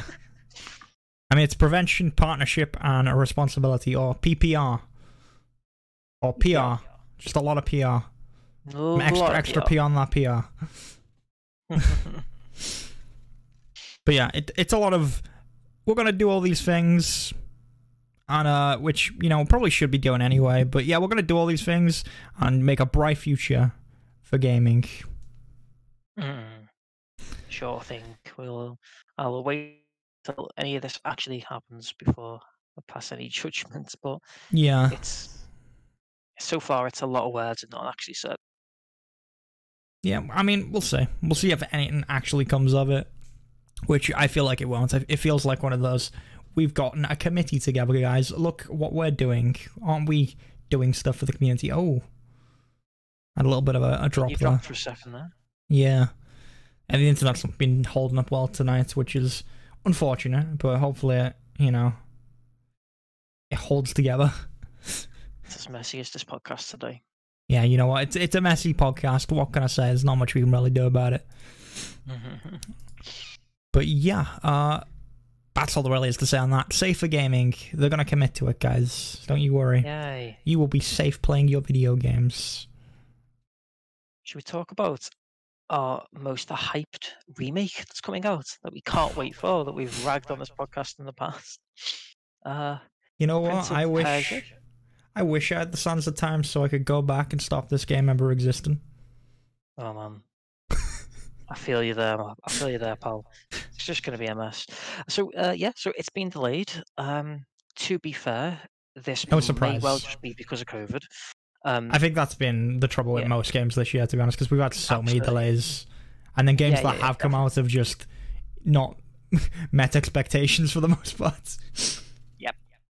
Yeah, definitely. Um, I mean, this has already actually been delayed once. Um, it got delayed to January 2021, but now I think they've realised they're not going to hit that target, so they've pushed Mm. it back to March. March 18th. Um, I think it's good. I think more time on this game, the better. Um, because I think it definitely the, needed it. yeah, I you know I've got a feeling it's probably going to play fine, but the visuals need need some touching up before it ships out. I think so. Hopefully, Yeah. a few extra months they can um make the character models look a bit less PS2y. I get the feeling it's not going to change that much visually. I feel like there'll be very Probably minor not. changes. Yeah, I'm being hopeful. What can I say? A man can dream, Zan. A man can dream. Yeah, you see, we have this opposite thing where for some reason you're hopeful about Ubisoft, and when it comes to CD Projekt, I'm hopeful that they can fix a few bugs in a few months. You're like, yeah, they can. yeah, actually. You've got a much more negative viewpoints of Ubisoft than I do. That's that's true. Uh, it's funny how we're like that. We've got very different. I, f- I feel like with certain publishers we, we agree, um, but with other ones we like we disagree, which is which is interesting. Uh, well, hopefully it is. Otherwise, we're fucking playing this podcast. I mean, we've got to disagree about something, otherwise, you know, it just feels people like, yeah, yeah, this is bad. I agree. Yep, yep, yep. I can, I concur. No, I, Hmm, I, Indeed. I do agree that this is going to be a crap remake either way. I can't see them fixing it in time. I'm just, I am just being hopeful because I don't want them to mess up this game. This is a, a great game, and they've It's got a, really chance good to reintroduce it to the Zoomers. Um, but maybe it, maybe it won't be worth picking up, and that'll be a damn shame. Listen, uh, I don't know. I feel like Zoomers probably wouldn't even get it. They'd be like, ooh. I mean, It's actually, you know what? world. Where are the collectibles? you know what? Prince of Persia was actually pretty forgiven for the time. Now that I think back, Yeah, it was. Yeah, yeah. There was not really any punishment for death, really, Hmm. from what I remember. but yeah, it's uh, Mhm. ooh. Sorry. go on now. What were you gonna say? I was just thinking that even then, when you died, it was um, most of the time you could just rewind your own death unless you were out of sand. So Mm. Yeah, it wasn't a particularly difficult game, except like like uh, towards the very end where they're like, now we're gonna take the sands away from you. And actually make it difficult for this last segment. Use everything you know, which was really cool. I like that segment of the game. I, mean, I think that was a thing a lot of games did back then. They'd give you a bunch of stuff and then take it all away at the end and be like, now use the fundamentals that you've learned throughout. Yeah, I think that's a very smart game mechanic. If you do that right, um, Mm. that can be really satisfying. I think Prince of Persia Sands of Time definitely did that right as well. Mm. It was a very, very focused game all round. I feel like Mm. no time is wasted when you're playing that game. Every set piece is so well designed and thought out. It's just, just a quality game. Absolute Yeah. classic. A little bit underrated these days, I think, honestly. You think it's underrated? Or do you Uh, just think it's like we just don't know many people our age that are like, yeah, Sands of Time, great game. We're just used to Zoomers No, being like, being like, that's. You speak for yourself, pal. You speak for yourself. I've been on Twitch I too long. hang I hang around on a, on a lot of like retro gaming um, communities, and because that's that I'm into all that sort of thing. And um, yeah, like uh, Sands of Time, people go like, yeah, it was good, but I don't really think people appreciate it as much as they should. So it's just a really well made game. I think it's because it doesn't stand out as it's you know it's not mind blowing or anything like that, but I think people should appreciate it a little bit more than they do because it was really well put together, and it basically it's it's essentially the the precursor to Assassin's Creed, so it deserves more attention for that alone. Mm. Well, I think it's more enjoyable game than Assassin's Creed, in my opinion. I wouldn't go that far, but that's, you know how I feel about Assassin's Creed. I I don't know. I feel. I found Assassin's Creed kind of dull, but that's just me. At least Yeah, one I mean, was. One was. One was kind of dull.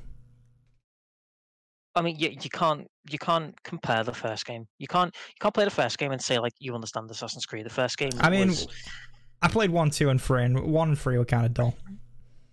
well, uh, the funny thing about Assassin's Creed is um, every other game is good, and then the ones in between are just kind of okay. Uh, it's a funny thing about game. I don't know. Mm. But uh, should we start talking about Cyberpunk? We've got a lot of Cyberpunk to get through. Uh, Cyberpunk's gonna. Cyberpunk's gonna take a while. So so I think it's to divide us greatly here too. To be some anger if if we have the strength.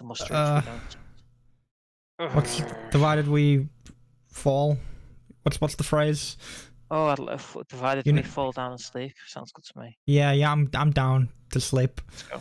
Let's go. So yeah, Cyberpunk is the biggest PC launch in history. Yes. Just just beating out WoW Shadowlands, which was surprisingly the biggest right before. It was very quickly stolen off it. I'm surprised that was. Um, Yeah, I was surprised by that as well. That's that's that's bizarre. But yes, it's been a hell of a roller coaster with the Cyberpunk release, hasn't it? It's been ups and downs uh, across the board. Like, yeah, it's um, it has done. It, it did really well. Um, they say that It made they've profit in a day. The cost, yeah, yeah, they've apparently recouped the cost, which when you consider that it's an eight-year development cycle, is insane. Um, to the Mm. point where I'm not entirely sure if I believe that, but I will have to look into that more. Um, but if they I- have recouped the costs for eight whole years, that's ridiculous.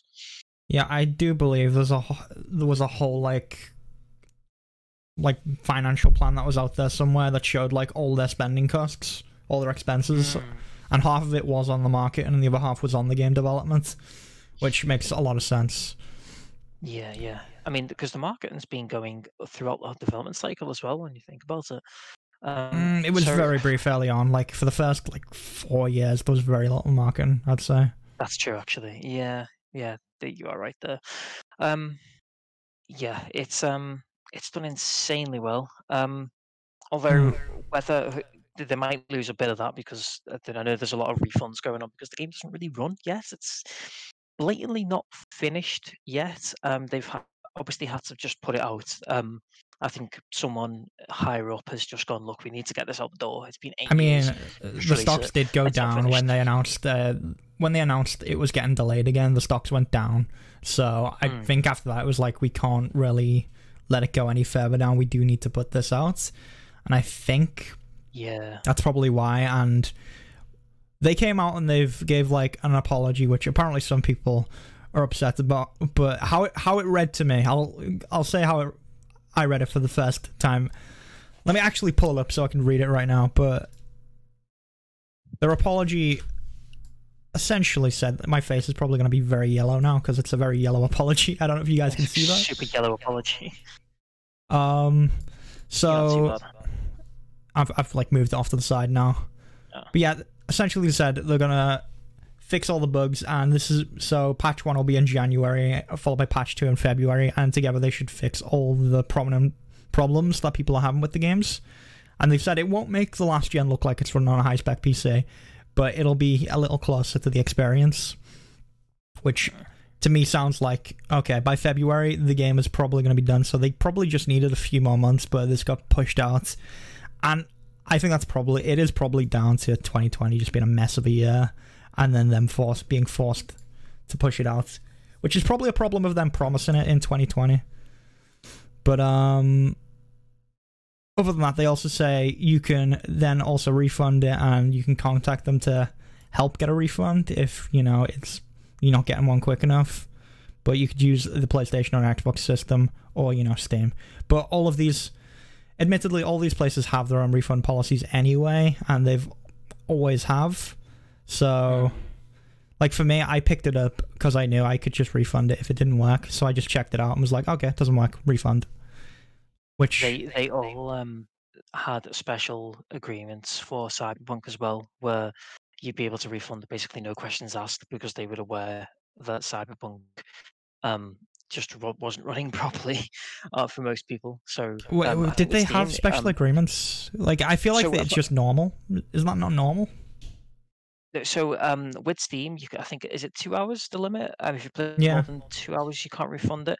So with Steam, um, well, I mean, according to the internet, um, a lot a lot of people have been saying that if you just contact Steam um, and say that it's Cyberpunk, then they'll manually just go, okay, yeah, fine, and they'll put the refund through because they know that it's Cyberpunk and they know that some people are spending two or three hours just trying to get it to run.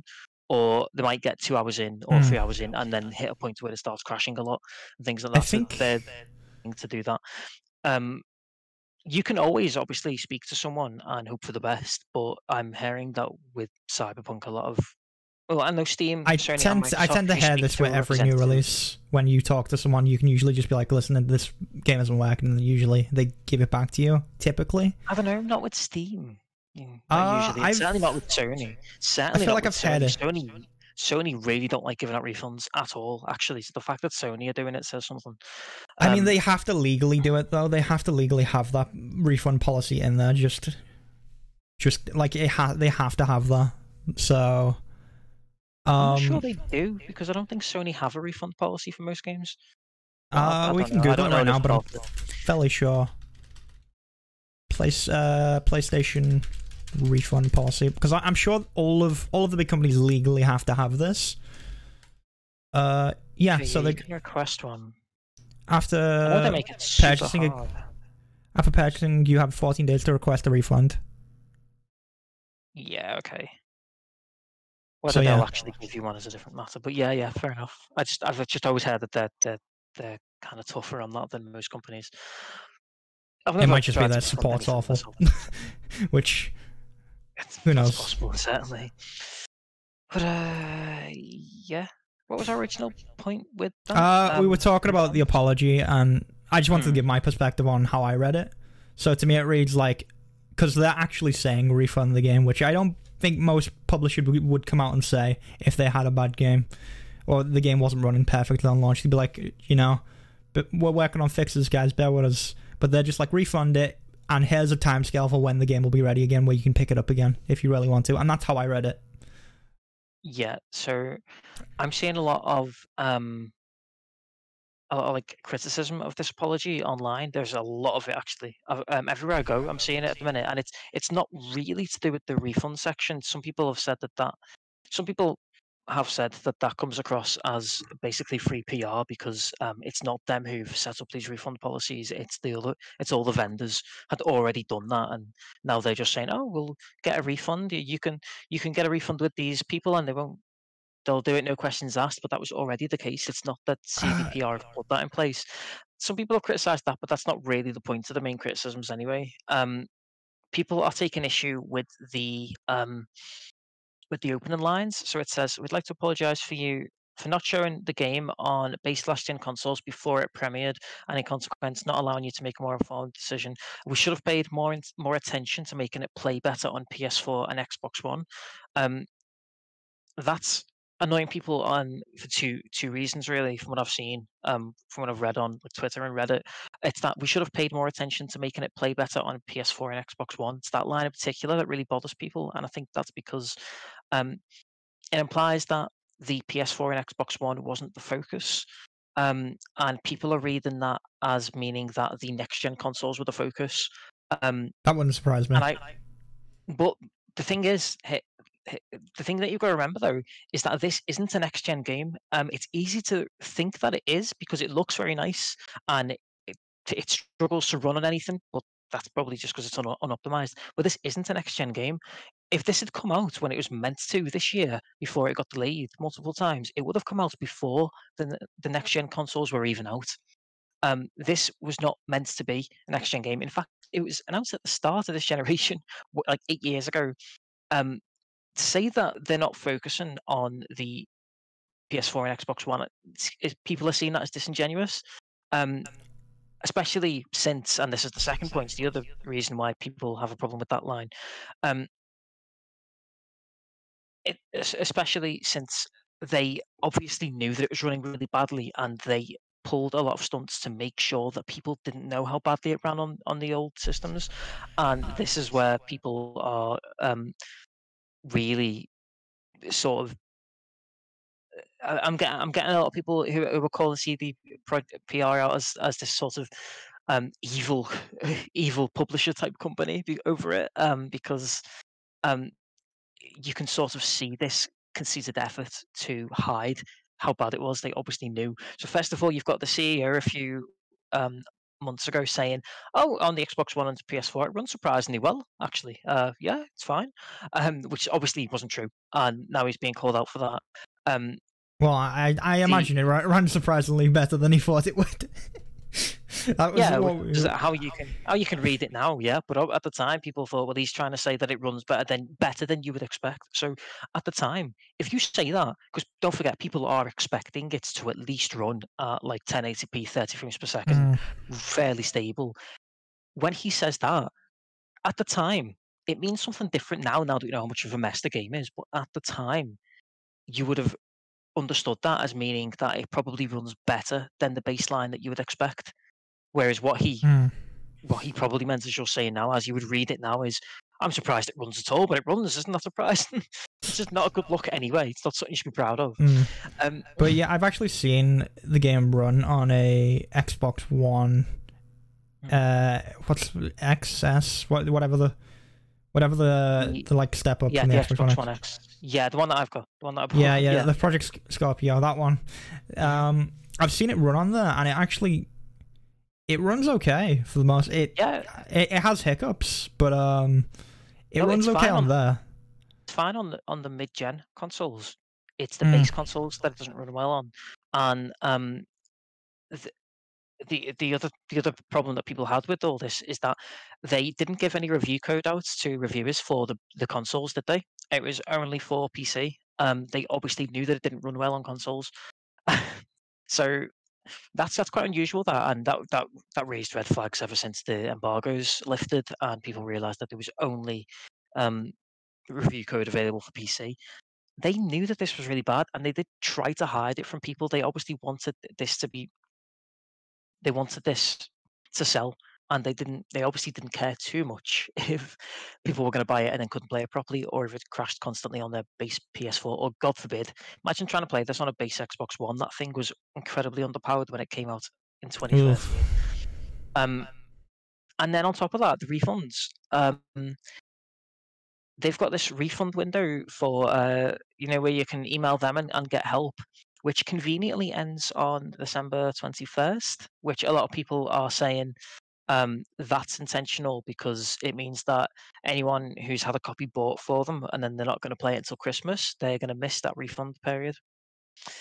Um, mm. Which It could it could be seen both ways. It could be seen like they're uh they're giving people time off for the holidays, but we don't know that. They don't actually explicitly say that. That's Why only give a week long refund period though? It seems very short. Um, I do think that's. It does I- feel I- like I it's pulling more staff on during the holidays, isn't it? To like pull them back in after the game's done and be like, okay, now we all gotta s- work through this. But I don't It's know. twenty first though. You've got a few days um after that, or even like even even a few days after Christmas when people Hmm. pick it up for Chris- Christmas and play it. I can sort of see where they're coming from there. At the same time, I don't fully agree with that point though because um that's you can just, just talk to them. that's- Yeah, just that's like their vendors. service. Yeah.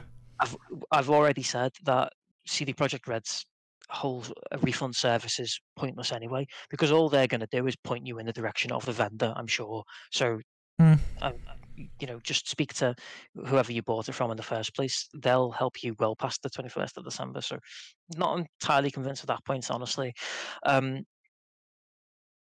but uh, yeah, I think that's everything. But uh, yeah, I've seen th- this apology has seems to have rubbed a lot of people the wrong way from what I've seen. You're saying some people, um, I feel like it I- is the minority, but that's like I, I- feel like the internet is the minority of people when you you see it, it's the vocal minority, honestly. it's not no no because this is going out to the internet. It's only the internet seeing this statement, and I have, haven't actually seen a positive thing in response to it. Um, I've heard that there are some out there. I've not actually seen any there myself. Mm. Um, I don't know. Like I, I'll, I'll say the the one thing on here is like the base version. You know, I don't, I don't know how you'd make a better apology than this. Is what I'm trying to say. When it comes to something like this, like you could just leave out the PlayStation and Xbox part. Maybe just don't say that, and then, you know. But it feels more transparent to just say that. You know, just own up to it. Which I Well, guess you can't win either way. they well, they didn't own up to the fact that they they intentionally hit up at the base console versions were there. That's the thing, which I don't think they could do really. Um, yeah, I just I honestly though I think it's good that people are criticizing it. Uh, I'm, I'm this game has seen a shift in how people see CDPR, and I've said this before in the podcast, but I think it's important that people stop viewing this company as a small, humble indie developer. I don't think or like- anyone's like, you said this earlier. I don't think anyone sees it as a small, humble indie developer, people Polish do, workers, people or do. just who's who is it that's like this is a small company when they're making like the, one of the most funded games ever made. No, people do. People do because it goes back to The Witcher 2 uh, uh, and uh, even to an extent The Witcher 3 because they're relatively small compared to something like EA. The Witcher Three was still um, massive as well, though. Activision. They make big games, but they're a relatively small company, and people see them as a smaller company that cares about you, and that's just not true.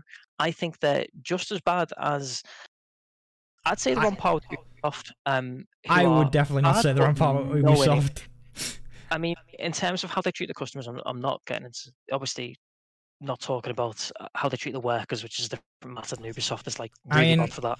But in terms of how they treat their, their customers, I think they're about on par with Ubisoft, who are bad, but not not bad. I mean, they also the penny and worst. dime people. Like Ubisoft uh, throw in a lot of microtransactions and stuff. They uh, force people onto the Uplay service.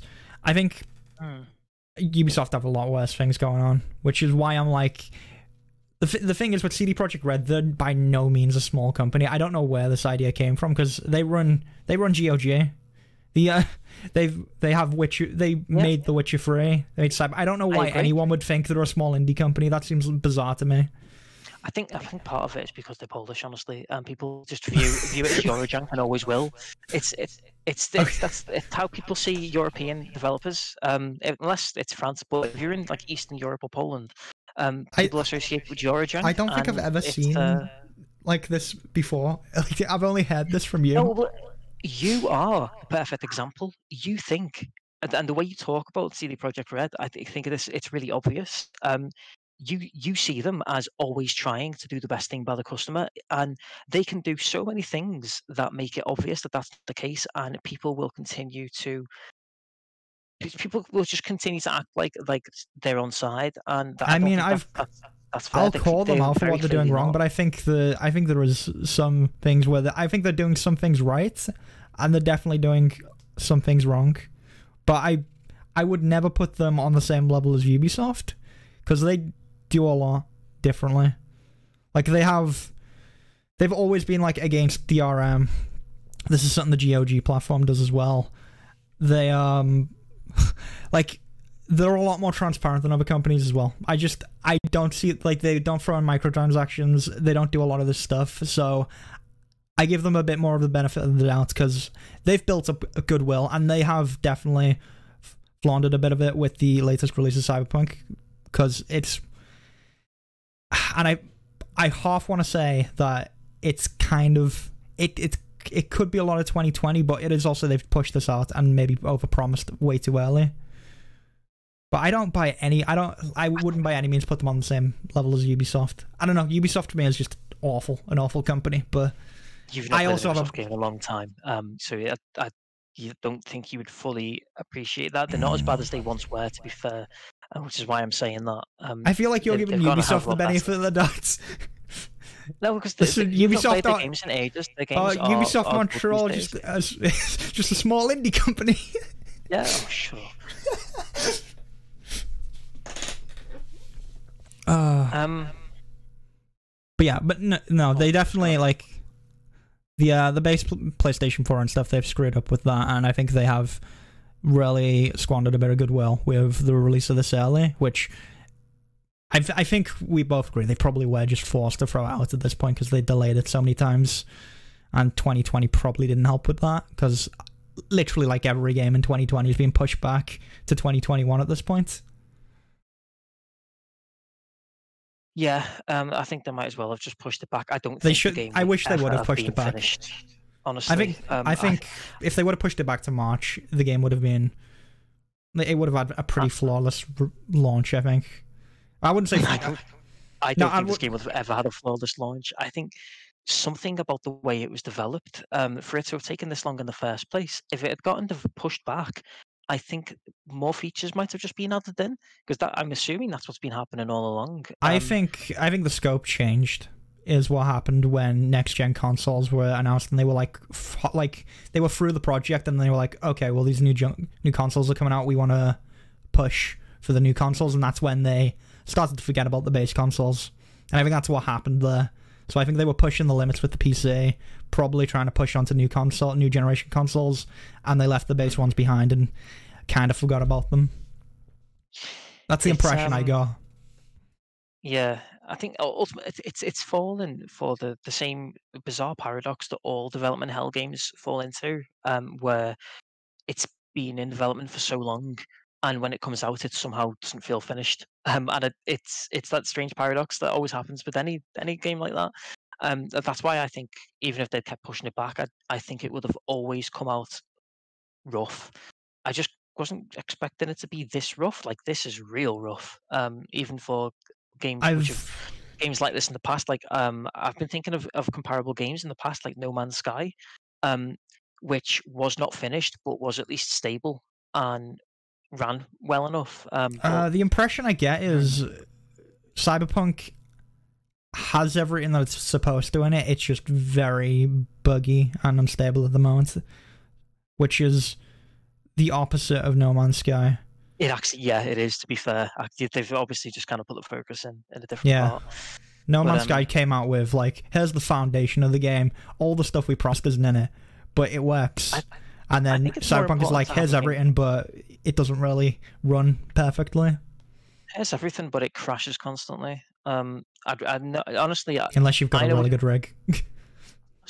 even then, apparently it'll it'll sometimes crash. It crashes on consoles. Um, I've I don't know. I've heard anecdotes like that, but I've I've seen plenty of people running it fine on higher rigs, which I guess is just the nature of like seeing Twitter anecdotes. It's people like I think that's PC gaming too, isn't it? If you're lucky enough to have the right set of equipment, it might it's not even always necessarily to do with strength, is it? It might just be if you happen to have a rig that's similar enough to the one they tested on, you'll be good.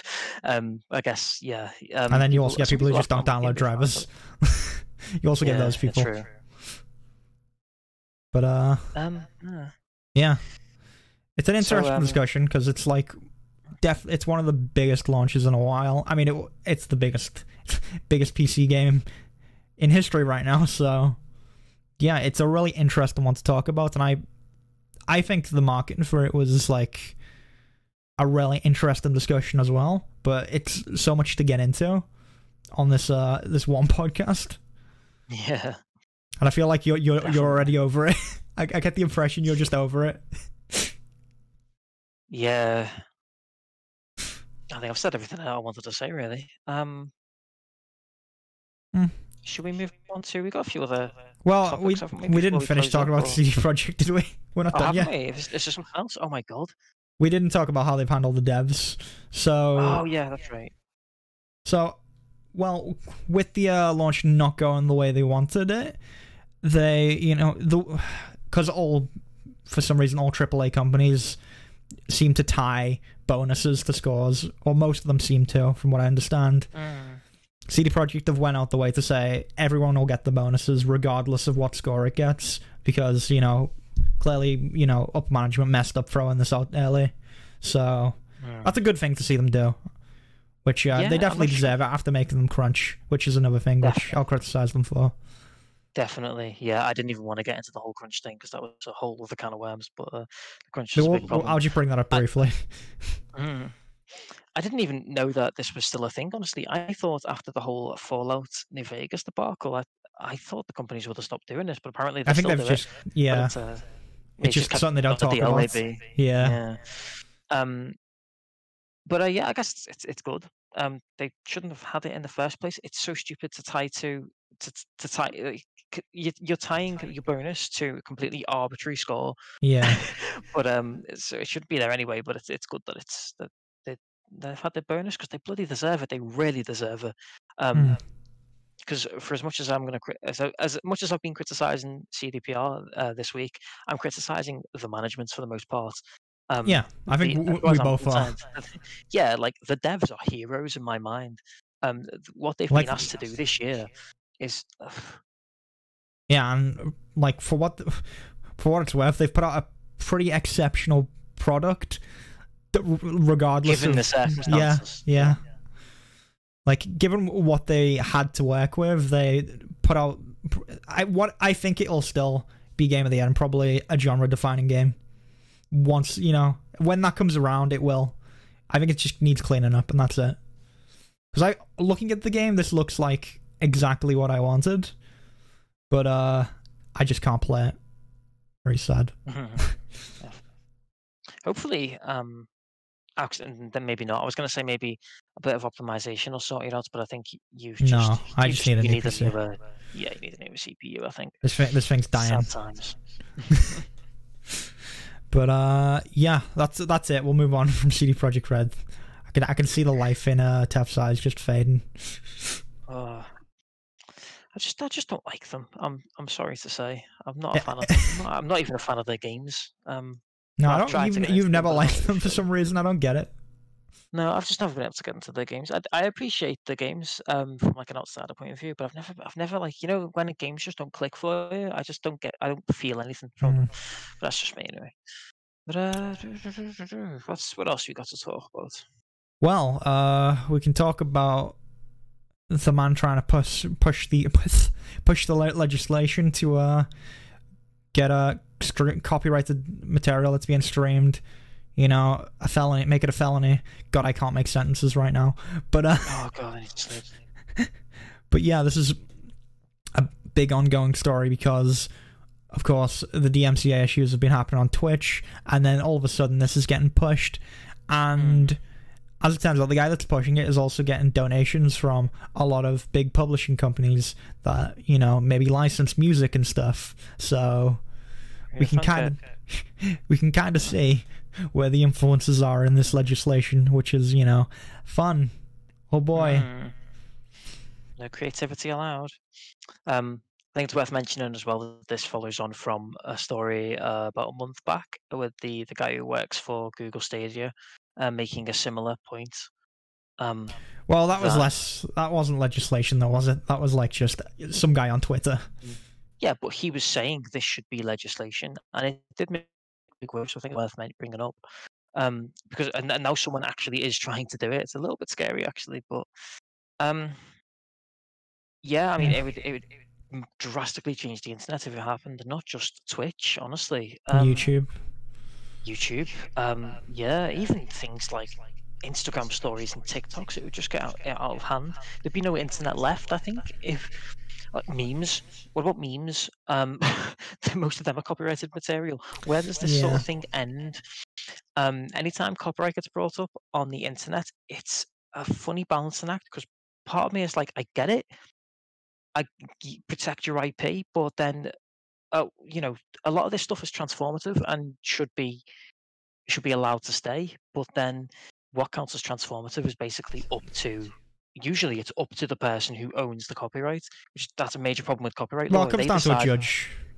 Hmm, yeah, but this is America. They can probably pay the judge. Let's be real, or lobby for it. So, uh, and um, it's all happening in America, so we've got to think about that. And Mm. even though it shouldn't technically affect us, whatever happens in America, then we'll change the website to the rest of the world. So, Yeah, I will say there's been ca- there's been precedent cases that have set um has set like stuff for YouTube of uh, what is transformative content. So there is stuff in favor of what creators do on YouTube.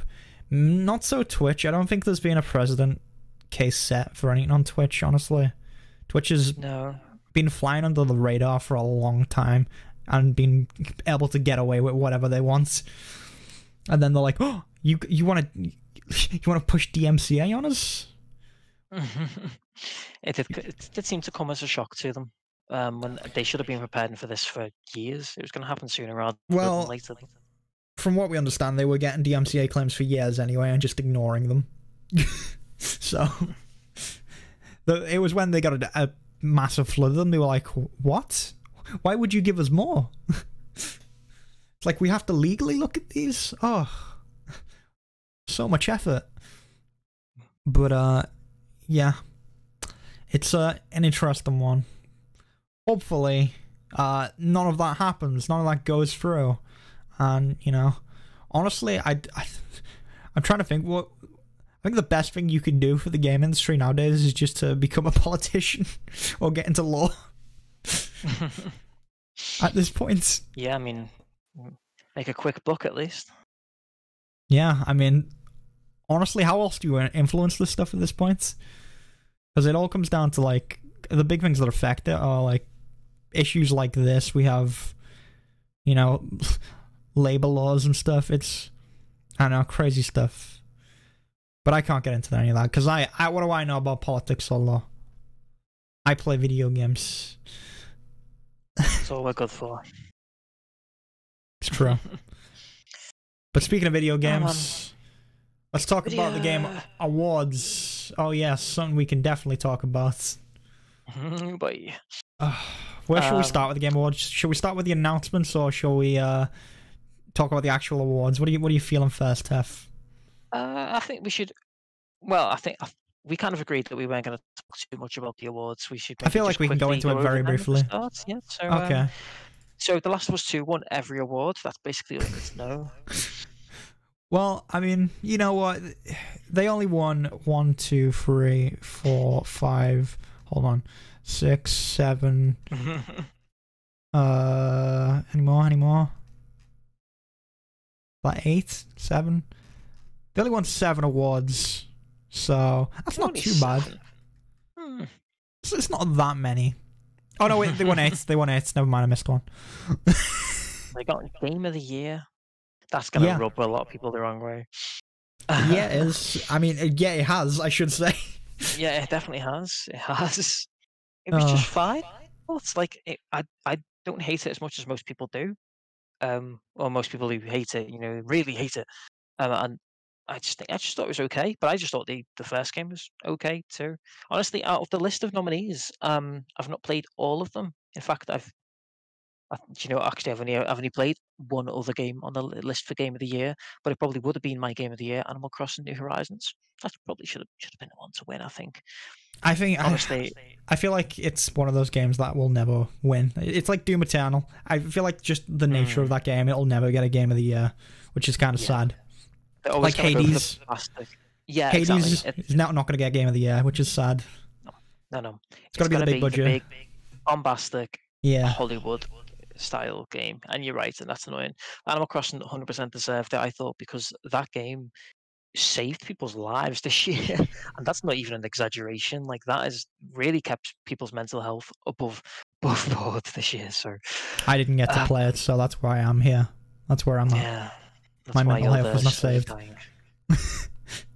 But uh, yeah, honestly, I don't know what else. Like there was very little else that could have even got game of the year this year.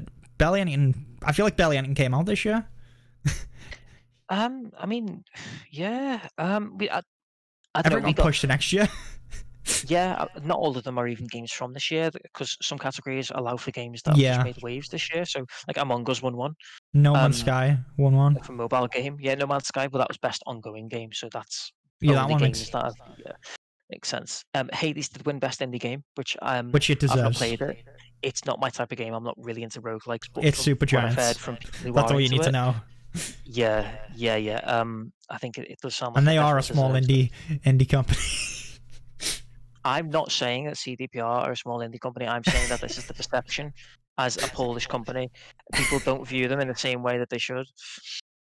I, You I can laugh what you I've never, like. I've never seen, I've never, I've never heard that perspective The before. It just sounds bizarre. is, you're just a massive simp for CDPR, and you are part of the I'm problem. criticizing. part I'm giving them crit. I'm giving them criticism for the things they deserve criticism for. But I'm not gonna go overboard. You've actually not even criticised them for the fact that they released an unfinished game. So Yeah, I did. A big, big simp. We, did. we- had a whole talk about it, Tef. Just want to brought it up again. All right, what else was that? Oh yeah, uh, you know what? Half Life Alex didn't get forgotten. It got best VR game at least. The only worthwhile VR game, from what I understand. Yeah, It is the only one worth playing, pretty much. So Hmm. you should try the falls. Yeah, I I still think VR is super niche, and I I think it's got to be a few more generations before it even people are, even just like because I don't I don't know if I'm interested in it. I feel like there's a lot of people that are just like I just want a controller. I just want to sit down and play a game. I feel like people aren't like hooked on the idea yet, so you know you need some I don't know better, cheaper, better VR before we get to that point where it's like start putting out some killer apps for VR. So yeah, I mean nothing else could have really taken that. But yeah, other than that, um, Final Fantasy VII remake got best RPG at least. Yeah. Don't think there was think another RPG fair. this year. Um, there was well, there was Yakuza Seven.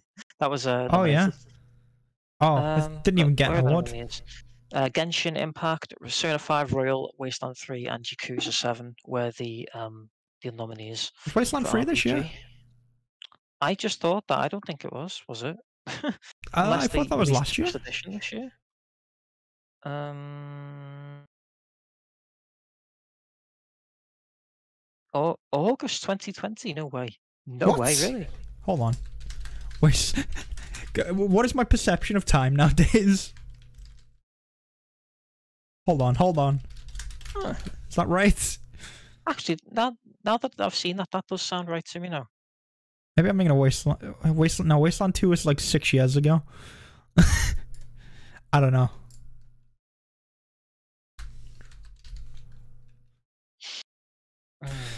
I'm yeah, uh, now at um, the. I'm just looking at all the games that uh, The Last of Us Two won, and the only one that I think it deserved, honestly, in my opinion, is best audio design. That game did have incredible audio design. Um, it deserves Mm. that win. Everything else, I yeah. mean, honestly, I'd I'd say it could take best performance, but I mean, it's up to you to decide who you thought in Last of Us Two. Because I, I feel like out of all the games, the person like with the actors given the best performance, it's gonna be someone in The Last of Us. Whether you think Abby's actor deserved it or another actor, that's up to you. I think I think Lev was the most interesting character in The Last of Us Part Two, and I think we both agreed on that as well. yeah, we did. Yeah, yeah. I think it's a it it's it, dep- it depends on how they decide what performance means in games because um. I don't know, like the actual acting wasn't very good, but the mocap was very impressive. Um, Mm. the, like, that was very cool. If they, if they're uh, considering uh, the effort that's gone into mocap in that performance, then yes. But the, the performance itself from Abby was Abby was really bland for as a character. She really. I'm trying to think of character traits that Abby had, and I think it was um, the characters around her that made her interesting. absolutely because Yeah. she she was pretty much a blank slate. She had vertigo, and she had big arms, and that's really oh, and daddy issues um because Joel shot her dad. Plot spoilers. that's about, that's all I remember from uh, like Abby. Like there was not much to her. She was really dull. Um, and that's not Mm. really the actor's fault, but the, I don't really feel like the actor did much to make her more interesting at the same time. Yeah, I don't know. Uh, again, I still I think Lev was the best character in that game, but you know, I'm I'm fine with her getting best performance because I feel like the the people who I mean, what other game this year had like good performances for actors? Yeah, I think that's the thing. Um, I, I agree with you that uh, The Last of Us probably would have won regardless there, but I'm I Mm. don't know, but I don't know about giving it to, to Abby's actress though. I don't know. I don't know. But then, like, yeah, I can't really think of much else. The the other nominees were um, Ellie in The Last of Us, uh, Jin from Ghost of Tsushima, Hades from Hades, and Miles Morales. Uh, so that was the Lev- competition. Lev was robbed. That's all I'll say. Lev was robbed, hundred percent. Um, but yeah, other than that, there was just other awards like best esports athlete, best esports coach, best content creator of the year. I'll be me, SJ. I'm going for it, boys and girls. Me and Tef are gonna get a joint best content creator of the year next year. That's not happening. Goals. uh, but yeah, that's that's it for the awards. I think we're I think we're done with that anyway. Not really much else to talk about. It's Game Awards. It's the game advertisements, as a, it's been dubbed by a lot of people. So Big let's get to the PR. advertisements part, Yes. the fun part. Uh, so where should we start? Should we just go down the list? I guess so. Um, I, I don't even know what half of these games are. There, like, there's a lot of stuff I've never heard of. Maybe, maybe they're new IPs. I'm assuming that they are. Let's go Uh, through. Let's find out. So there's some like small indie games, you know. There's there's a lot of indie games on here. You- Devolver Mm. Digital's putting out more stuff. We got Teacher, Teach, Teachy. Te- I forgot how it's pronounced now. Teachy, Teachy, and think Teachy. I, I don't know. But yeah, it's uh, it looks like an interesting game. There's like a girl that can like turn into pebbles and stuff and fly about. It's a it's a bizarre looking game, but it looks interesting. Um, we also got a Sea of Solitude coming to Nintendo Switch. I've not played Sea of Solitude, though it does look like a very, very nice game. I don't know if you know much about Sea of Solitude or if you've I played do it. not. Uh, no, I don't know anything about it. I think I know the name, but yeah, it, Yeah. it does look cool actually looking at the trailer. But It's made by a small indie company. I never said that. You put words in my mouth. That's not how I put it. you s- listen, we can go back and I'll clip you just saying small indie company. Okay, pal, sure. Send that to you out of context. It'll be all good. Um, Focus Home Interactive reveals a shady part of me, which uh, they don't have a trailer for this, but it was it was just a game that plays with shadows and stuff. So it's one of those games, you know. It's a like puzzle. I mean, it's like a puzzle platform sort of thing. You mess with shadows. It's got all that going for it. Uh, then we had NieR Replicant version uh, point one point two two four seven four four eight seven one three nine. Gameplay revealed. That was very good. Uh, that's the full title of the game. But uh, yeah, that's a remake of an, the old NieR Replicants, which was the prequel to the latest one, NieR Automata. I've not played any like either of the NieR games, but I really want to. I feel like it looks like it's right up my alley. But uh, I'll get around to that one Have day. played any of them? Does look more like your sort of thing there. Mm. And then we had something called Century Age of Ashes, which is not a very good name, I'll be honest. Oh, very generic. But yeah, it's just like a medieval fantasy, a lot of PvP. It it was like meh. I don't know. I wasn't too interested. And then a big one we had uh we had Sephiroth announced in Smash. Don't think anyone saw that coming. That is such a good addition, though. Such a good idea. Yeah, I, I it's I'm you know what I'm surprised we didn't see it coming because Cloud is in there, so it's kind of cool to have his like nemesis in there. Yeah, it's just I don't think it was high on anyone's priority list as the thing. Mm. Um, but yeah, it's um, it's cool. You, he he fucking kills Mario. He just impales Mario through the chest. It's the- great. in the yeah. trailer. The one image of just Mario just impaled there on his sword.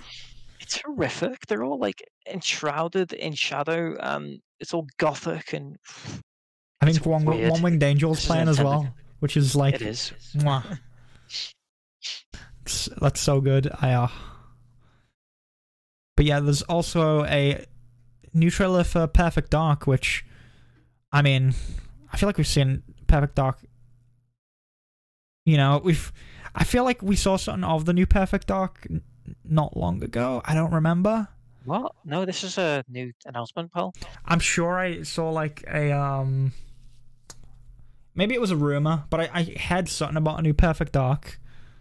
But this I is mean, like big for people a are lot of always people. saying there's a new one. Um, Yeah. people always wanted a new one. It might be one of those. It might have been one of those, but I feel like I had something months back. I, I could be wrong. I, we would probably would have covered it on the podcast. Too.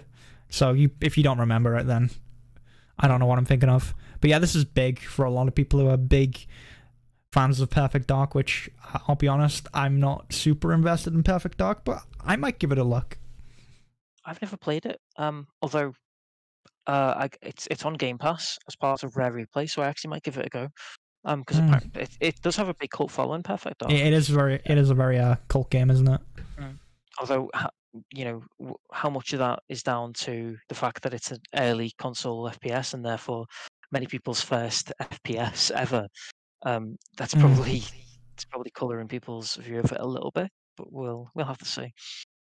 Yeah, um I don't know, it's interesting. We'll we'll see what actually happens. I I don't know. From what I remember from Perfect Dark, it wasn't super interested to me. Maybe that was just I don't maybe I just wasn't interested at the time.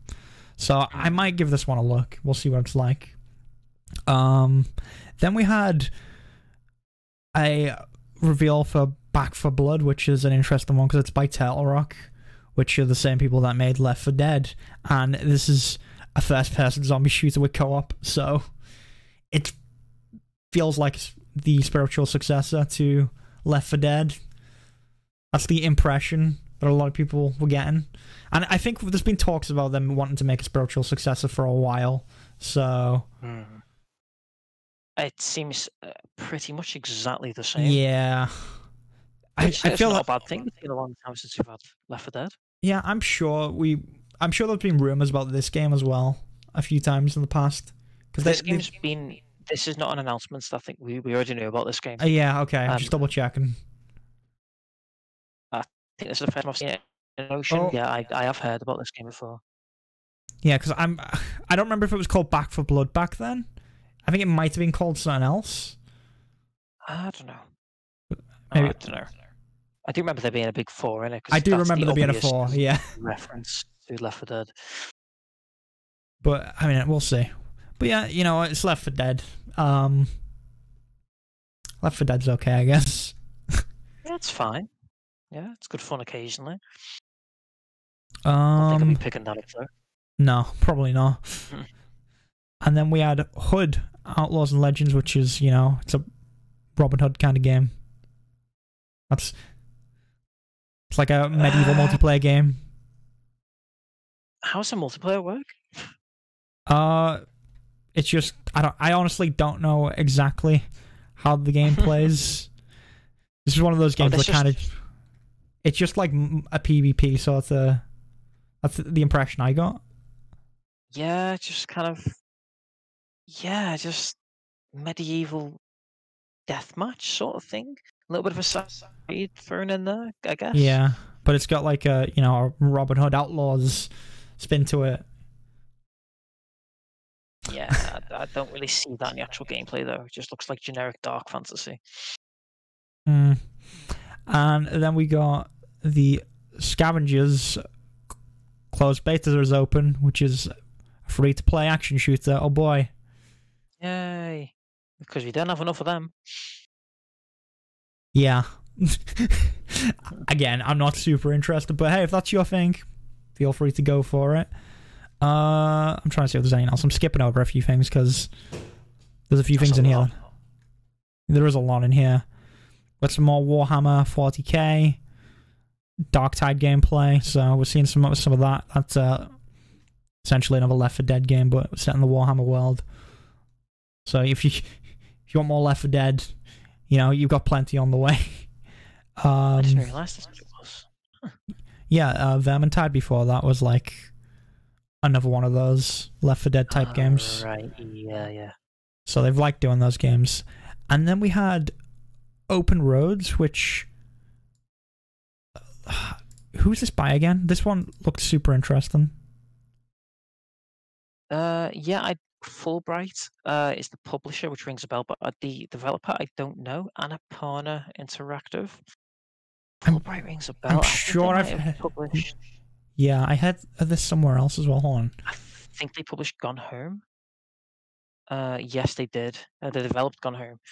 Mm, Um, Stray. so They're also. Uh, oh, it's Anna, Annapurna are also publishing Stray. So I knew the name rang a bell. Stray and some other stuff. But yeah. That one ah, popped up, which it looks interesting. It's got like a neat art style to it. yeah. Oh, I see. Yeah, I got it the wrong way around. So Annapurna is the publisher, and Yeah, yeah. Fulbright's the developer. So the same guys who made Gone Home. It does seem really cool. Yeah.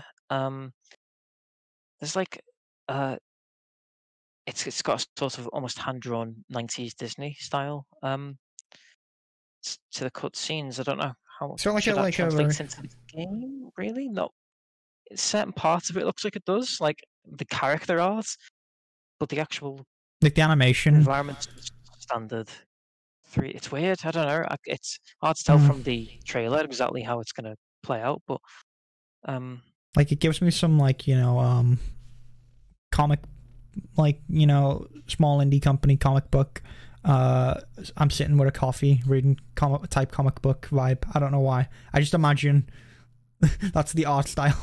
In my mind it just involves coffee for some reason. I don't know why. That's where my I mind is going. the color palette. It's very coffee Yeah. colored. The color palette. But yeah, it's uh interesting. We'll see what happens with that one. And then we got the Dragon Age 4 new look, which we knew was coming. We did we did hear rumors Yeah, about this yeah. beforehand. So some fan favorite characters back. Oh boy. it's just a cinematic trailer, so we don't really see a lot. God knows whether that'll be good or not. I feel like it could could go either way. Yeah, it really could. A bunch of uh people dropped off from the Dragon Age and the Mass Effect team as well, so we don't really know. We'll see. Yes, of course. You know Uh, gonna happen. And then there was Endless Dungeon, which is a small indie company roguelite. Um, we then had Crimson Desert f- gameplay revealed as well, which looked interesting. It looked kind of generic though as well. I thought this was Tomb Raider as I scrolled past. No, I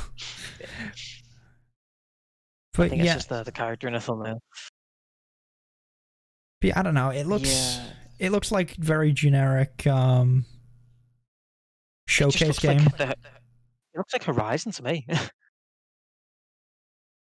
I mean, I guess you could clearly quite heavily inspired by it. But yeah, it's an open world action adventure, so it's like Yeah. it's just one of those games. Other than that, you know,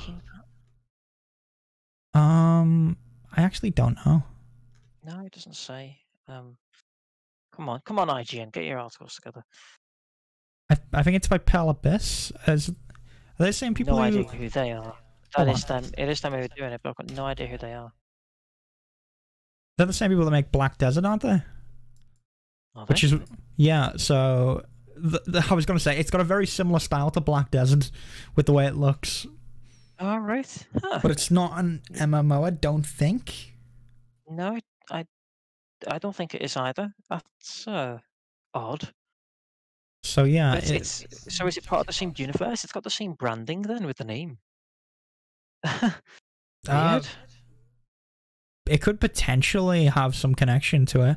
I don't exactly know. I'm not massive into Black Desert. Like I played a bit of it, but I never got too deep in. I might go back to Black Desert and you know give it another go, but it's an interesting one to see.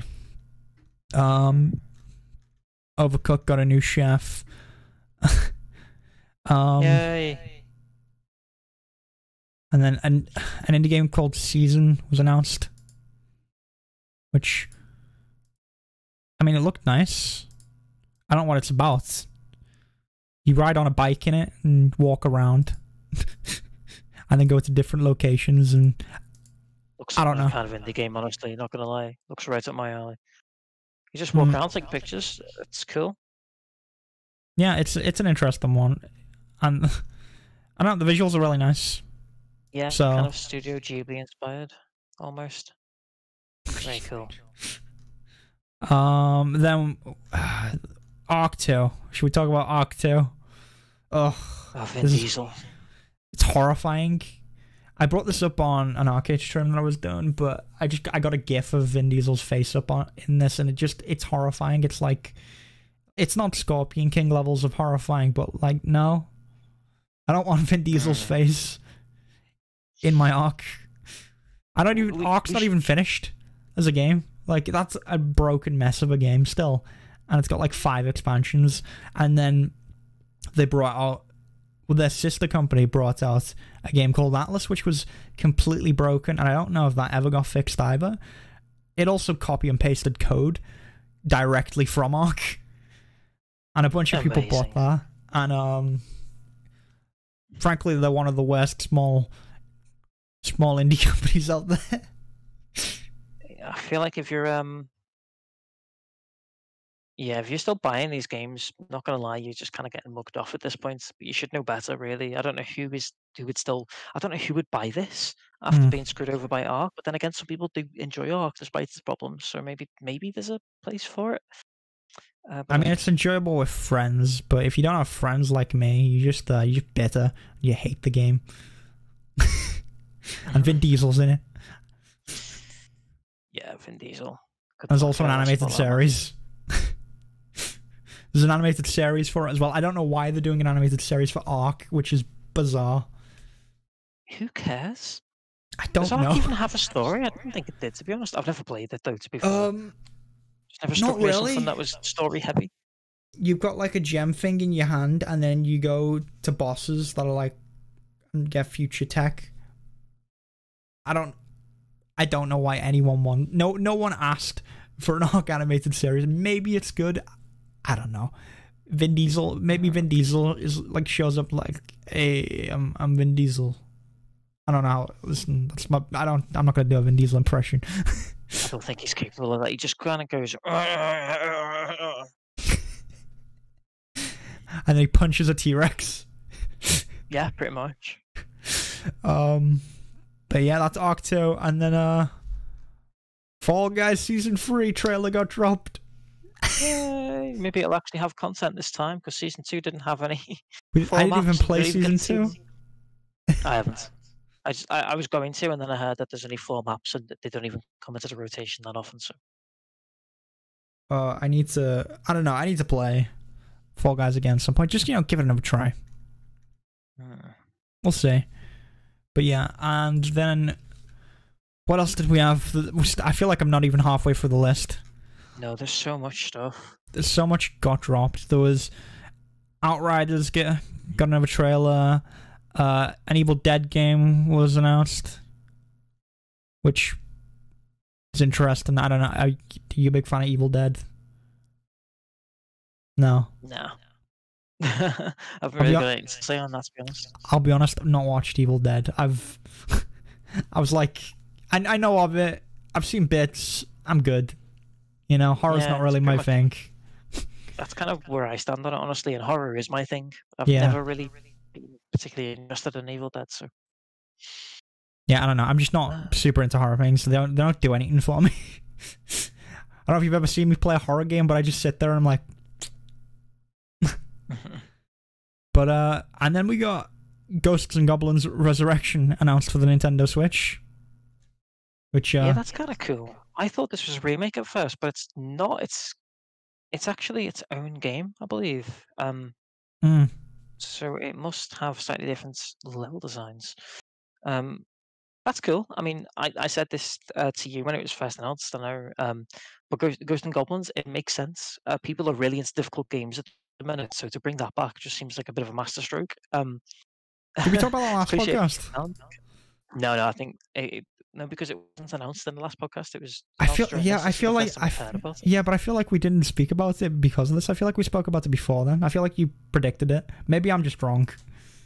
No, you're wrong. I I just I I, don't dropped you a message when when it was first announced, just saying um, as as cliched as it sounds, um, this game kind of was the Dark Souls of its era. It was known for its difficulty, so to bring it back now makes sense because people are really into difficult games at the minute. So I think Oh, maybe we did talk if about they if they market it properly. Um, I think I'll do quite well.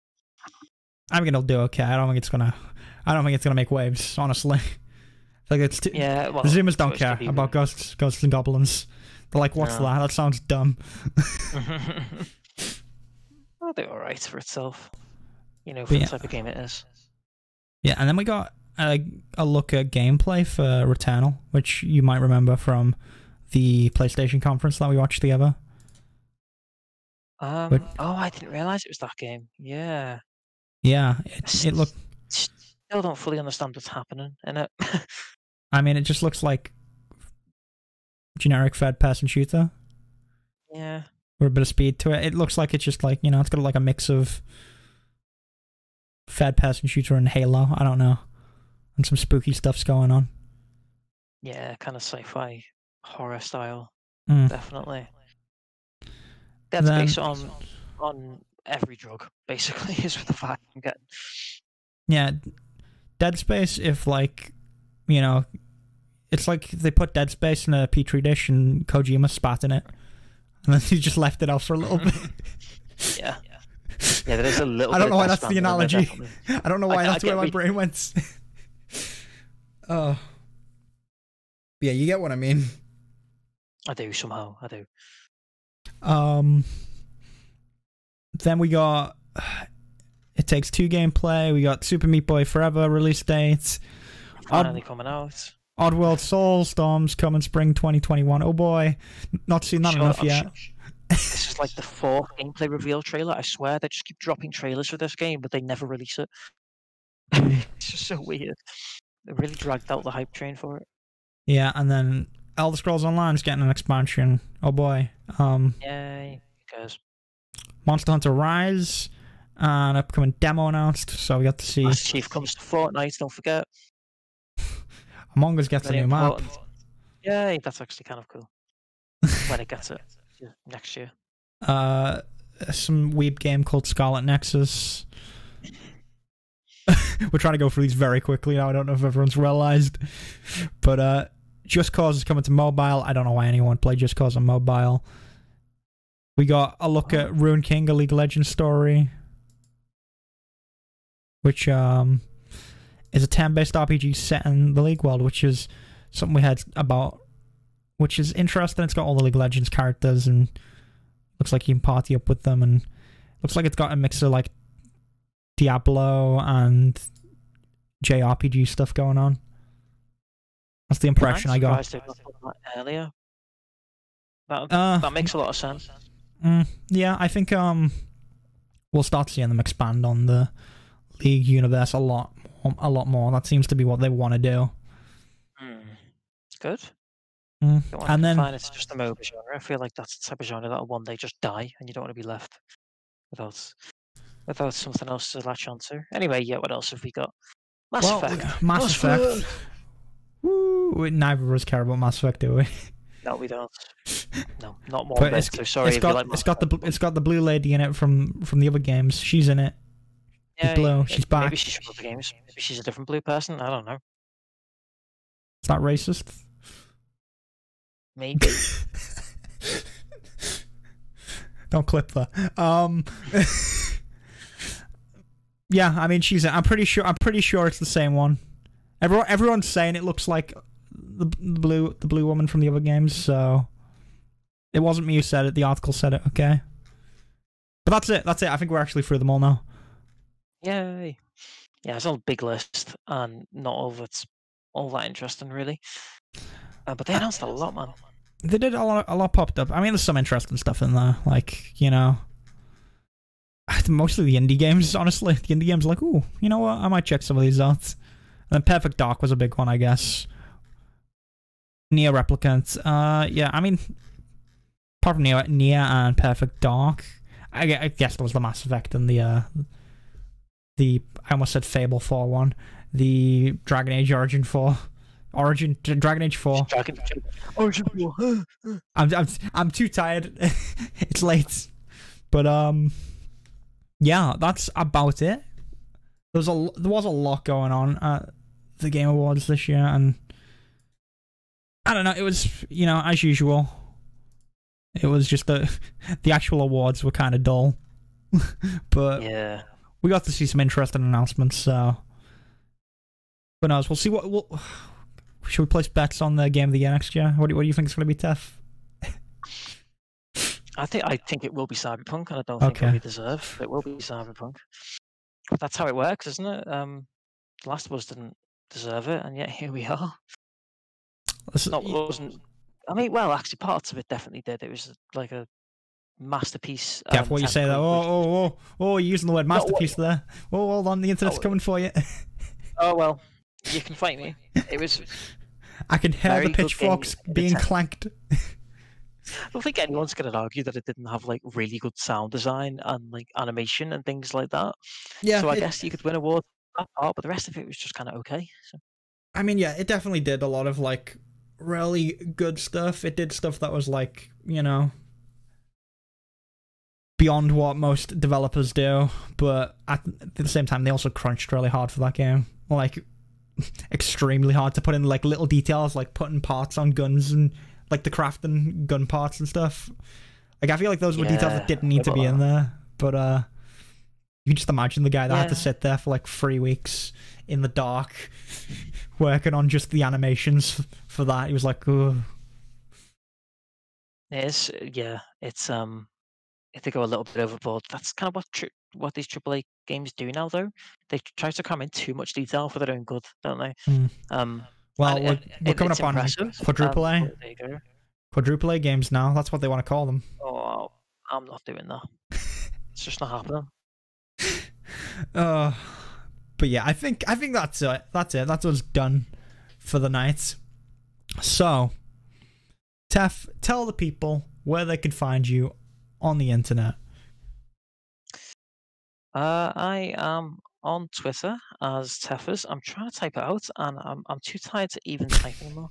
Um, there we go. Hey, um, I'm Teffers on Twitter. Um, I think I post on there occasionally. I just ramble about games like I do here. So go check me out on there if you like this kind of rambling. Um, and I also occasionally like just occasionally write medium articles. Really, really not been doing that too often lately because I'm just sleeping all the time.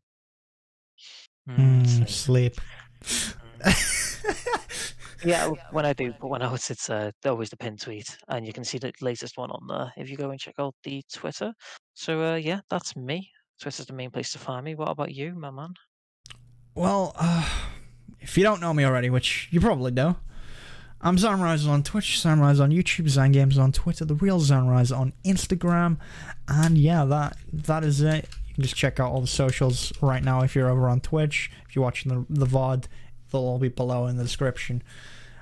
And if you want to, you know, see the VODs of the podcast, you can check them out over at youtube.com slash this podcast is in alpha. Or just look up this podcast is in alpha. You'll be able to find the channel. And we have all the vods over there if you want to just watch them on demand. Or if you want the audio experience you can check us out over at spotify or itunes and pick up the podcast there so you can listen to it on the go.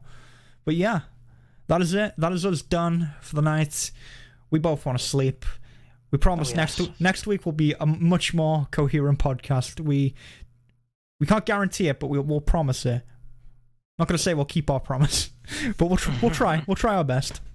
So yeah, we'll be back on Thursday doing some more Metal Gear. We'll do finish Metal Gear. Myself and Tef, if you want to join us for that, and if you want to catch the podcast, we'll see you all again next week with even more fun gaming news. It'll be a good old time. So thanks for hanging out, discussing along with us, and we'll see you then. Bonsoir. Bonsoir.